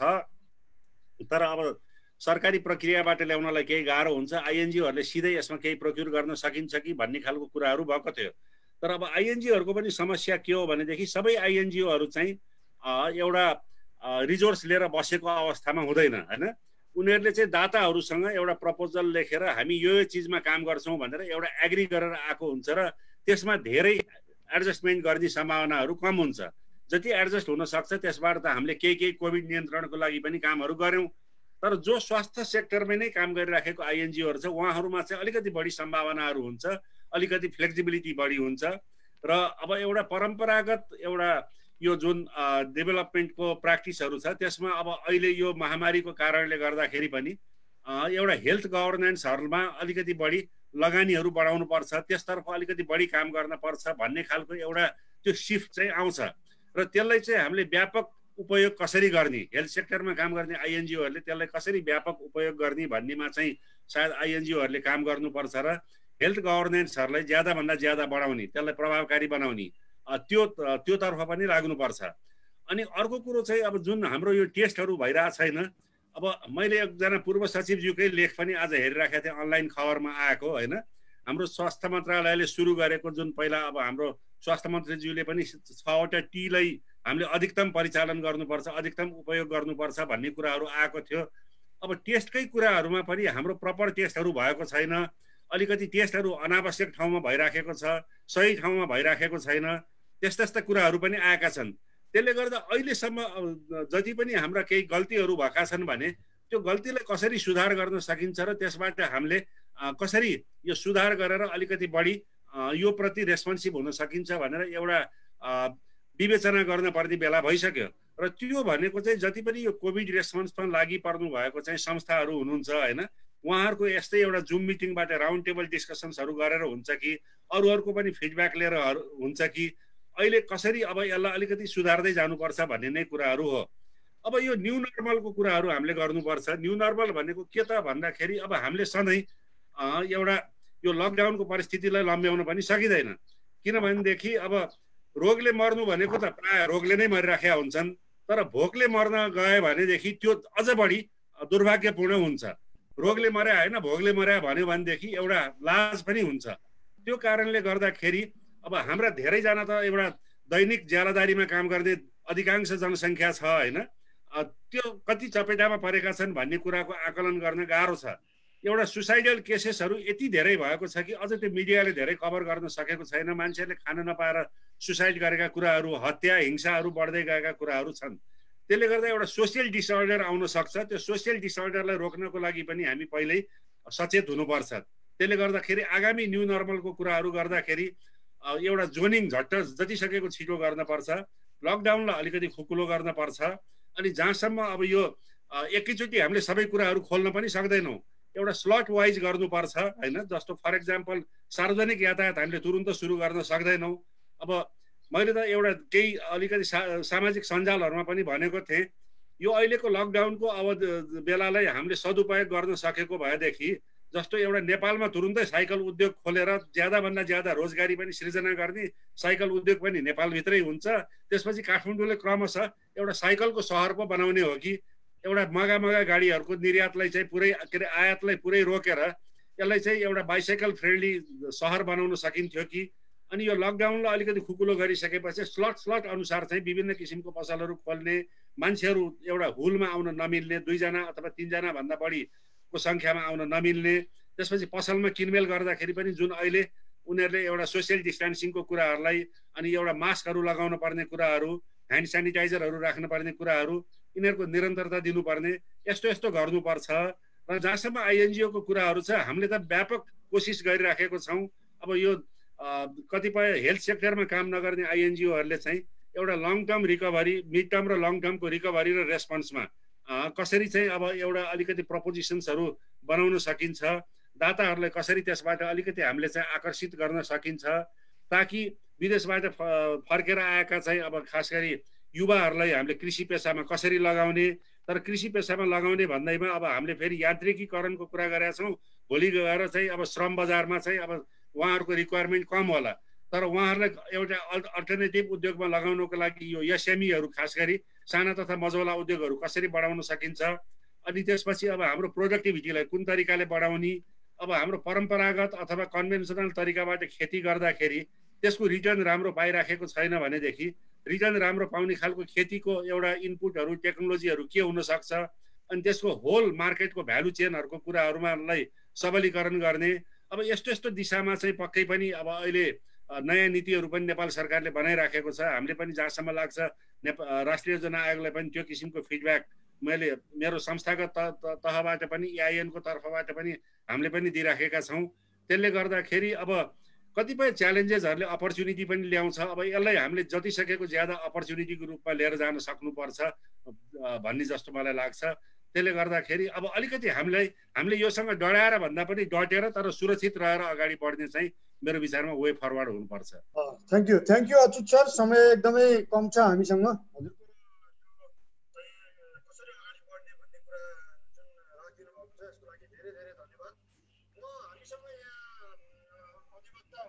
Shantiram Khatiwada sir. Shantiram Khatiwada sir. Hello. Shantiram sir. हजुर हजुर। हेलो। अब अब यो कसरी हामी चाहिँ अब यो यसको समाधानको उपायमा कसरी अगाडि बढ्नुपर्छ होला? सरकारी गैर सरकारी सङ्घ संस्थाको भूमिकाको विषयलाई लिएर अलिकति हजुरले छोटो केही कुरा राखिदिनुहोस् हामीसँग समय साह्रै कम छ तर पनि धन्यवाद। अनुरोध गर्छु। धन्यवाद लक्ष्मी सर। अब पहिलो कुरा त यो संस्थाले वास्तवमा यो प्रकारको कार्यक्रम राख्यो आयोजना गर्यो। यो यो खालको अवसर भयो। त्यसमा म धन्यवाद दिन चाहन्छु। दोस्रो कुरा जुन सहभागी विद्युत वर्गबाट जुन जुन विषयवस्तु आएका छन् त्यसलाई म अत्यन्तै सम्मान गर्न चाहन्छु जस्तो सुशील सरले अब अधिकार कर्मीको हिसाबमा सुशील सरले जुन कुरा राख्नु भएको छ त्यसै गरी हाम्रो मान्य सुरेश राईले जुन विषय राख्नु भएको छ जितराम सर भयो अच्युत सरले जुन जुन विषयवस्तुहरू राख्नुभएको छ वास्तवमा समग्रमा सबै कुराहरू आइसकेको जस्तो लाग्छ मलाई है? त्यसै गरी अब स्थानीय स्तरको पीडाहरूको विषयमा हाम्रो मेडमहरूले उपाध्यक्ष मेडमहरूले उपमेयरहरूले राख्नुभयो। जुन जुन विषय राख्नु भएको छ त्यसो भएको हुनाले धेरै विषयहरू छैनन्। दुर्गाजीले एनजिओ आइएनजिओहरूले अहिले गरिराखेको कामको विषयमा अहिले प्रोजेक्टहरू स्वीकृत भएको विषय पनि राख्नुभयो समाज कल्याणको तर्फबाट। त्यसैले म सबैमा वास्तवमा यी सबै विचारहरूको सम्मान गर्न चाहन्छु र मेरो थोरै मात्र विषयवस्तु के छ भने अघि माननीयज्यूले राख्नुभयो हामीसँग समस्या छन्। त्यसै गरी उपमेयरज्यूहरूले राख्नु भएको छ हामीसँग धेरै समस्याहरू स्थानीय स्तरमा देखिए ती क्वारेन्टाइन निर्माण गर्दा देखिए मान्छे व्यवस्थापन गर्दा देखिए वास्तवमा अहिले धेरै हामी सञ्चार माध्यममा हेर्छौँ। अहिले नेपालमा अब एक हप्ताभित्रमा पाँच सयभन्दा बढी मान्छेहरू अहिले कोभिड नाइन्टिनबाट प्रभावित भएको देखियो पछिल्लो चरणमा। अब मैले मेरो राखाइ चाहिँ के हो भनेदेखि अहिले यो जुन समस्याहरू देखिएको छ त्यसमा जस्तो मान्यजीहरू स्थानीय निकायका प्रतिनिधिहरू फिल्डमा जानुभएको छ स्थानीय स्तरमा जानुभएको छ राहत वितरणको क्रममा जानुभएको छ मानवीय सहयोगका लागि जानुभएको छ त्यसै गरी भ्यालीको मान्छेहरूलाई व्यवस्थापन गर्ने कुरामा त्यसै गरी बाहिरको मान्छेहरू व्यवस्थापन गर्ने कुरामा अशक्त बिमारीहरूको हकमा उहाँहरूले जुन कोसिस गर्नुभएको छ त्यो सराहनीय कुरा छ। तर यो बिचमा अभाव भएको कुरा मैले महसुस गरेको कुरा के हो भने यो कुरामा चाहिँ सङ्घ संस्थाहरूलाई देखिने गरी सामाजिक सङ्घ संस्थाहरूले पनि सहयोग गर्ने कुरा देखिने गरी यो भित्री रूपमा काम भएका प्रोजेक्ट स्वीकृत भएका एउटा कुरा छन्। यो समाज कल्याण परिषदको पनि दायित्व होला। नेपाल सरकारले पनि आवश्यकता महसुस गरे गरेन। बन्दाबन्दीको अवस्था छ एकअर्काको बिचमा टाढा रहनुपर्ने अवस्था छ यो कोभिडबाट त्यो कुरा स्वाभाविक छ। किनभने सबैमा यो रोग कसरी लाग्छ भन्ने खालको कुरो पर सन्तास नै छ। त्यसपछि त्यसलाई म्यानेज कसरी गर्ने भने हामीसँग तयारी भएर सङ्केत गरेर रोग आएको पनि अवस्था पनि होइन। त्यसले समस्या हामीसँग सबै छन्। तर यसमा यी सामाजिक संस्थाहरू जो सरकारको नीति निर्देशन अनुसार सञ्चालन हुन्छन् उसको सल्लाह उसको नीतिमा चल्छन् ती सामाजिक सङ्घ संस्थाहरूलाई पनि सहयोगी संस्थाको रूपमा सहयोगी हातहरूको रूपमा लिएर सँगसँगै जान सकिएको थियो भनेदेखि अथवा यो लाने क्रम थियो भने अब पोस्ट पोस्ट म्यानेजिङको कुरा भनौँ न यसभन्दा पछाडि पोस्ट म्यानेजिङ गर्दा हामी कसरी गर्न सक्छौँ? यसलाई त्यसमा शिक्षाको समस्या होला बालबालिकाको समस्या हुन्छ बेरोजगारीको समस्या त्यत्तिकै देखिनेछ। किनभने अहिले नै बाहिरबाट आउने मान्छेको इन्डियाबाट आएको मान्छेहरूको अवस्था देख्दा हामी त्यो आकलन गर्न सक्छौँ। त्यसै गरी खाडी मुलुकहरू लगायत बाहिरबाट आउने हाम्रा विदेशी दाजुभाइहरू आउने अवस्थामा हुनुहुन्छ। त्यसलाई चाहिँ म्यानेज कसरी गर्ने? त्यसमा सँगसँगै नेपाल सरकारले चाहिँ सामाजिक सङ्घ संस्थाहरू सङ्घलाई समेत सँगसँगै लिएर जाने अवस्था हो भनेदेखि यो महामारीसँग जुझ्नका लागि हामीलाई अझ सजिलो हुन्छ कि भन्ने जस्तो लाग्छ मलाई। अब त्यसमा चाहिँ समाज कल्याण परिषदले पनि आफ्नो हिसाबले यसमा नेपाल सरकार समक्ष आफ्नो भूमिकाको विषयमा त्यसै गरी अहिले मैले सुने चितराम सरको विषय एकदमै गहन ढङ्गले आएको छ अचुत सरको आएको छ सुशील दाईले त्यत्तिकै राख्नुभएको छ।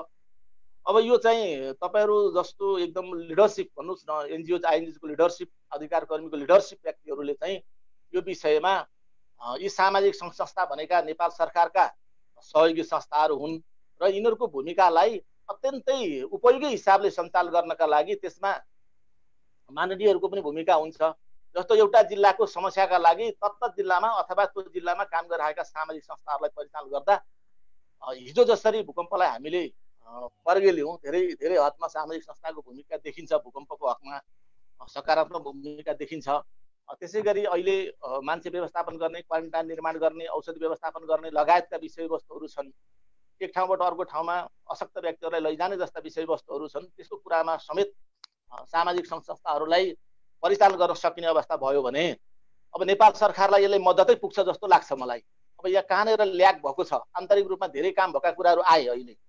मैले अचुत सरको पनि थोरली सुने जित जितराम सरको पनि सुनेको छु। माननीय सुरेशले स्थानीय कुरा राख्नु भएको छ किनभने उहाँ उदयपुरबाट प्रतिनिधित्व पनि गर्नुहुन्छ। त्यस्तै उहाँ अहिले यो वास्तवमा सामाजिक संस्थाको पनि हेर्ने यो समितिको सदस्य पनि हुनुहुन्छ। त्यस हिसाबले पनि भूमिका गहन छ। अस्ति मलाई लाग्छ यो यो समितिले निर्देशन पनि दिएको छ नेपाल सरकारलाई ती सामाजिक सङ्घ संस्थालाई परिचालन गर्नुपर्छ यसको यो मद्दत हुन सक्छ भन्ने हिसाबले गरेको छ। त्यसमा सरकारले कसरी लिएको छ? त्यसलाई त्यसतर्फ चाहिँ हजगच्याउने कुरामा पनि हामी लाग्नुपर्छ जस्तो मलाई लाग्छ। यो त्यसो भएको हुनाले म सबैमा वास्तवमा धेरै छ। पीडा हेर्नुहोस् अहिले हाम्रो खातुनजीको कुरा सुन्दा हुँदै अत्यन्तै पीडा छ। हेर्नुहोस् किन छ भने तराईका अहिले हामी देखिरहेको छौँ कोभिड नाइन्टिनबाट सबैभन्दा बढी प्रभावित क्षेत्र छ भनेदेखि तराई छ। त्यसको कारण हामीसँग खुला सिमाना सिमानामा आएर बसेका हाम्रा दाजुभाइ दिदीबहिनीहरू नेपाल आउन जाँच गर्न सक्ने अवस्था नसकिने अवस्था दिनै दिन भिडको भिडको अवस्था छ नल्याउ दाजुभाइ आएका छन् छोरा भतिजाहरू आएका छन्। त्यसले गर्दा त्यसलाई पनि मेन गर्नलाई। सामाजिक संस्थालाई परिचालन गरियो भने अझ राम्रो हुन्छ होला। सर अलिकति समय समय अभावको कारणले गर्दा हजुरलाई मैले अलिकति निवेदन गरेँ। त्यसैले त्यसैले म सकिहालेँ सर। त्यसैले म। सबै सहभागी जुन जुन विचारहरू राखियो यो एउटा सुरुवातीको कुरा पनि हो। यो भिनले यो भोलिन्टियर इनिसिएटिभ नेपालले जुन यो एउटा अवसर जुन खालको एउटा विचार एउटा छलफल गर्ने थियो अझै मलाई के लाग्छ भनेदेखि समय छ भनेदेखि हामी सुशील सरको अलिकति कुरा सुन्न पाए हुन्थ्यो जस्तो लागिरहेछ मलाई त्यो भयो भनेदेखि त्यसपछि मैले मैले शान्तिराम सर हुन्छ। हजुरलाई मैले। बिचमा रोकेँ अब हामीसँग धेरै समय पनि कम छ एकदमै थोरै केही समय मात्र बाँकी छ म हामी अन्तिममा ल म थ्याङ्क यू थ्याङ्क यू भन्न चाहन्छु है त? धन्यवाद छ। हाम्रो नागरिक समाज अ, शान्तिराम सरलाई धन्यवाद दिँदै म मानव अधिकारका अभियन्ता तथा नागरिक समाजका अगुवा सुशील प्याकुरेल सरलाई अब यो नागरिकको भूमिका विषयलाई लिएर अलिकति हामी यो समाजको विषयलाई लिएर र कसरी सङ्घ संस्थाहरू चाहिँ नि अगाडि बढ्नुपर्छ भन्ने कुरालाई चाहिँ नि समाधानको पाटोबाट केही कुराहरू राखिदिनु हुन अनुरोध गर्दछु। हस् धन्यवाद। मैले सुरुमा पनि अलिकति भन्न खोजेको थिएँ तर अरूको सुन्दाखेरि मलाई एकदमै राम्रो लाग्यो है।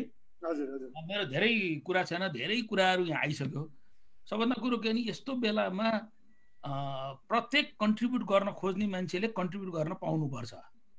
होइन? जस्तो सांसदज्यूहरूले एक किसिमले कन्ट्रिब्युसन गर्नुभएको छ भने तपाईँ हाम्रो पनि हरेकको एउटा एउटा क्षमता छ। इभेन चाहिँ नि भनौँ न अब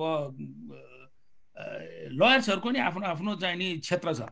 अहिले यहाँ समस्या चाहिँ के भइरहेछ भने धेरै हामी रिसोर्स भन्नाले पैसाको मात्रै कुरा गरिरहेछौँ।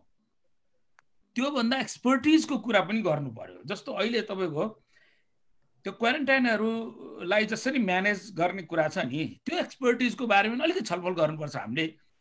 अब मैले अब यहाँ दुईजना चाहिँ नि उपमेयरज्यूहरू पनि हुन्छ उहाँहरूको धेरै ठुलो पीडा छ महिलाहरूको। किनभने क्वारेन्टाइनहरू महिला फ्रेन्डली छैनन् अब धेरै हामीले अघि चित्रामजीले बडो राम्रो डिटेलमा भन्नुभयो होइन?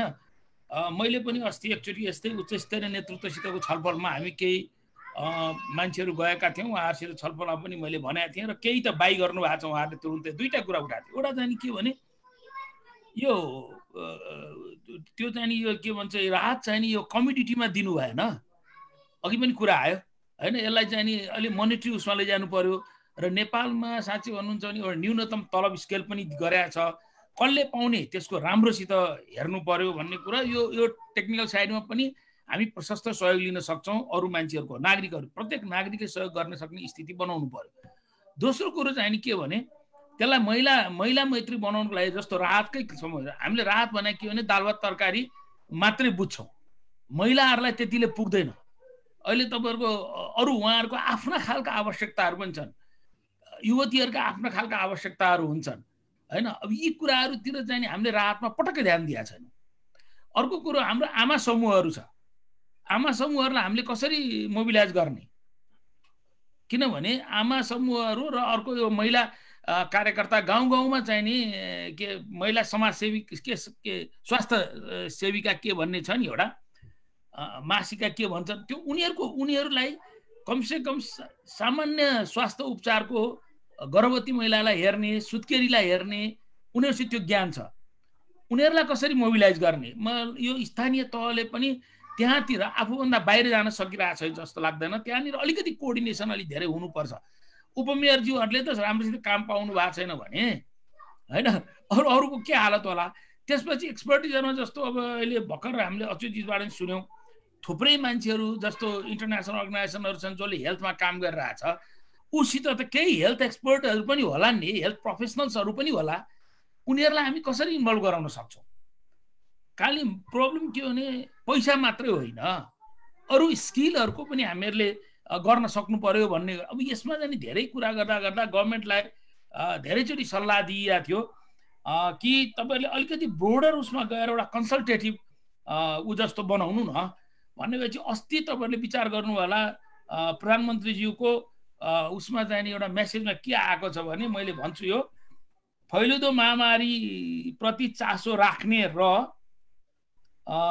यस महामारी विरुद्धको लडाइँमा कुनै न कुनै रूपमा संलग्न विभिन्न पक्षलाई समेत समेटेर एउटा परामर्शदात्री संयन्त्र छिट्टै घोषणा गरिनेछ। आई थिङ्क यो त्यस ठुलो डिस्कसनपछि आएको कुरा मलाई थाहा भएअनुसार।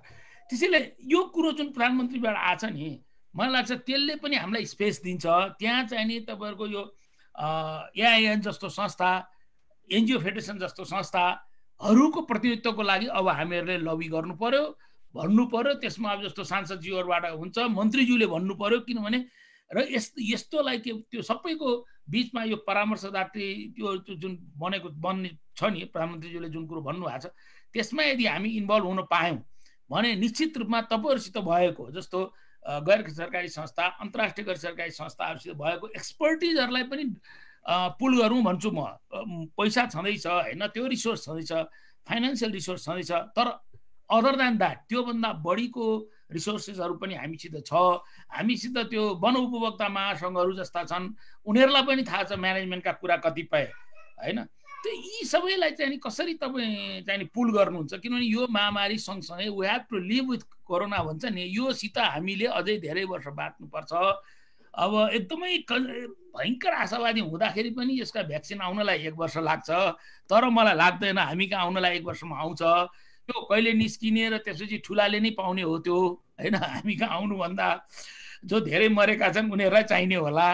त्यसलाई यी सबै कुरालाई हामीले हेरेर चाहिने हाम्रा चाहिँ नीतिहरू बनाउनुको लागि हामीले गभर्मेन्टको इनिसिएटिभहरूमा आफू पनि कसरी जाने भन्ने वातावरण बनाउनु पर्छ र त्यसको लागि चाहिँ नि म फेरि पनि अब एआइएनले पनि अलिक बढी त्यसमा सक्रियता लिनु पर्यो भूमिका खेल्नु पर्यो लबी गर्नु पर्यो एडभोकेसी गर्नु पर्यो त्यस्तै चाहिँ नि हाम्रो सांसदज्यूहरूले पनि मैले अघि निर्देशनको कुरा गरेँ माफ गर्नु त्यो तपाईँहरूले निर्देशन गर्नुभयो भने नि अब इन्भल्भ हुनु पऱ्यो भन्ने भन्छु क्या म।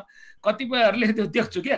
सरकारले अब कुरा बुझ्नु गर्ने छैन सरकारले चाहिँ नि यसलाई तुरुन्त जाने बोर्डरमा बसेकाहरूलाई ल्याइदेऊ भन्ने ल्याउने मात्रै हो। क्वारेन्टाइनको व्यवस्था गर्नु पर्दैन। अनि क्वारेन्टाइनको घर मात्रै भने तपाईँ अघि चित्रामजी हुनुहुन्छ हुनु थाहा छैन। अस्ति मैले एउटा त्यो ह्युमन राइट कमिसनको म पनि आफू ह्युमन राइट कमिसनमा बसेर पाँच वर्ष बिताएर आएको मान्छे हो। अब के भनिदियो भने हरेक प्रदेशमा हजार बेडको चाहिने अस्पताल र हरेक जिल्लामा चाहिँ सय बेडको अस्पताल। यस्तो सब्जेक्टिभ कुरा नगरौँ। म अलिक भोकल पनि छु होइन?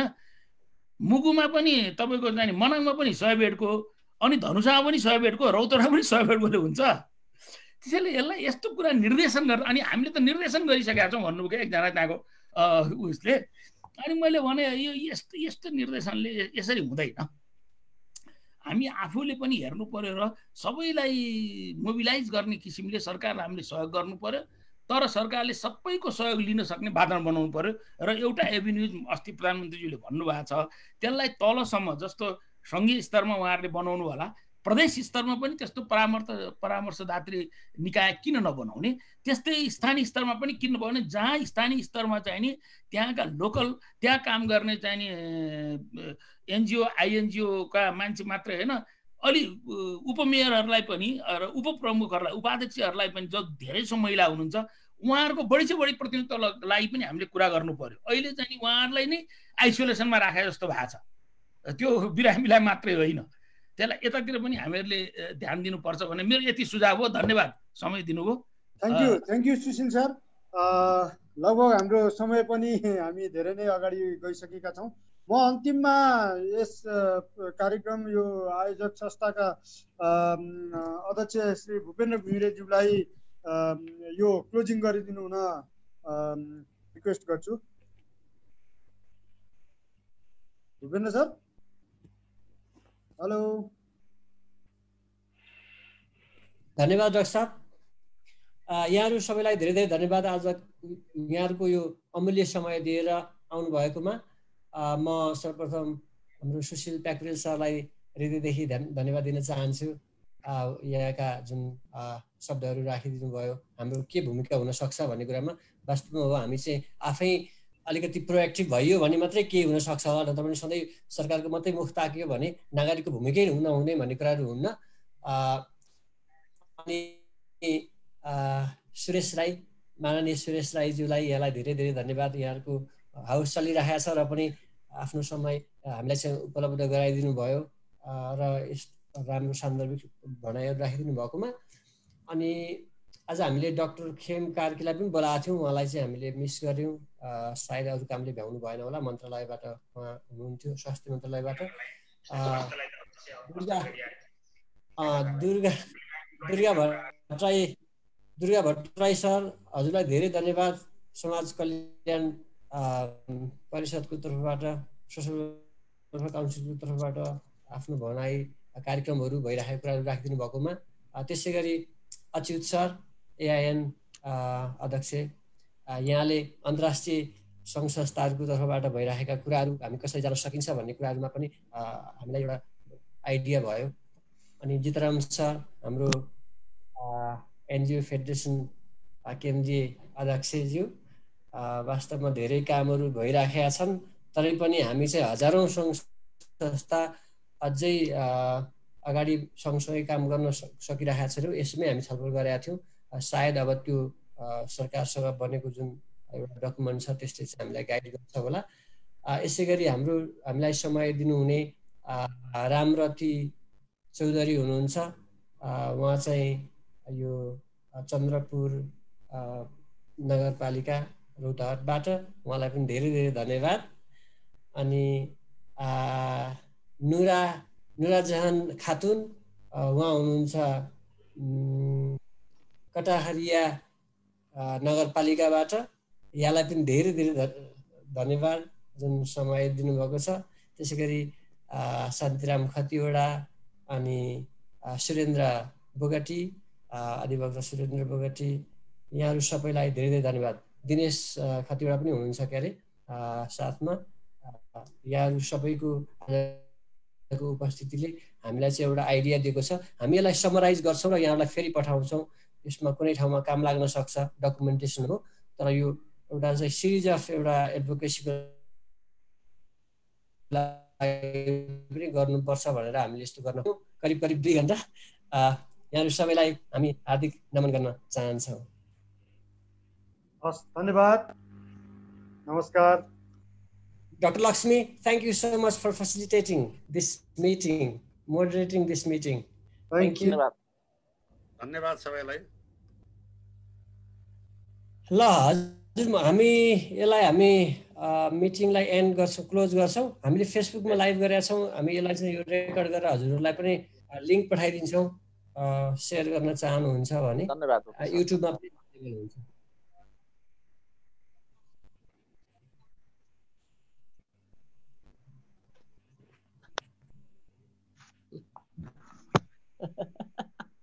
ठिक छ।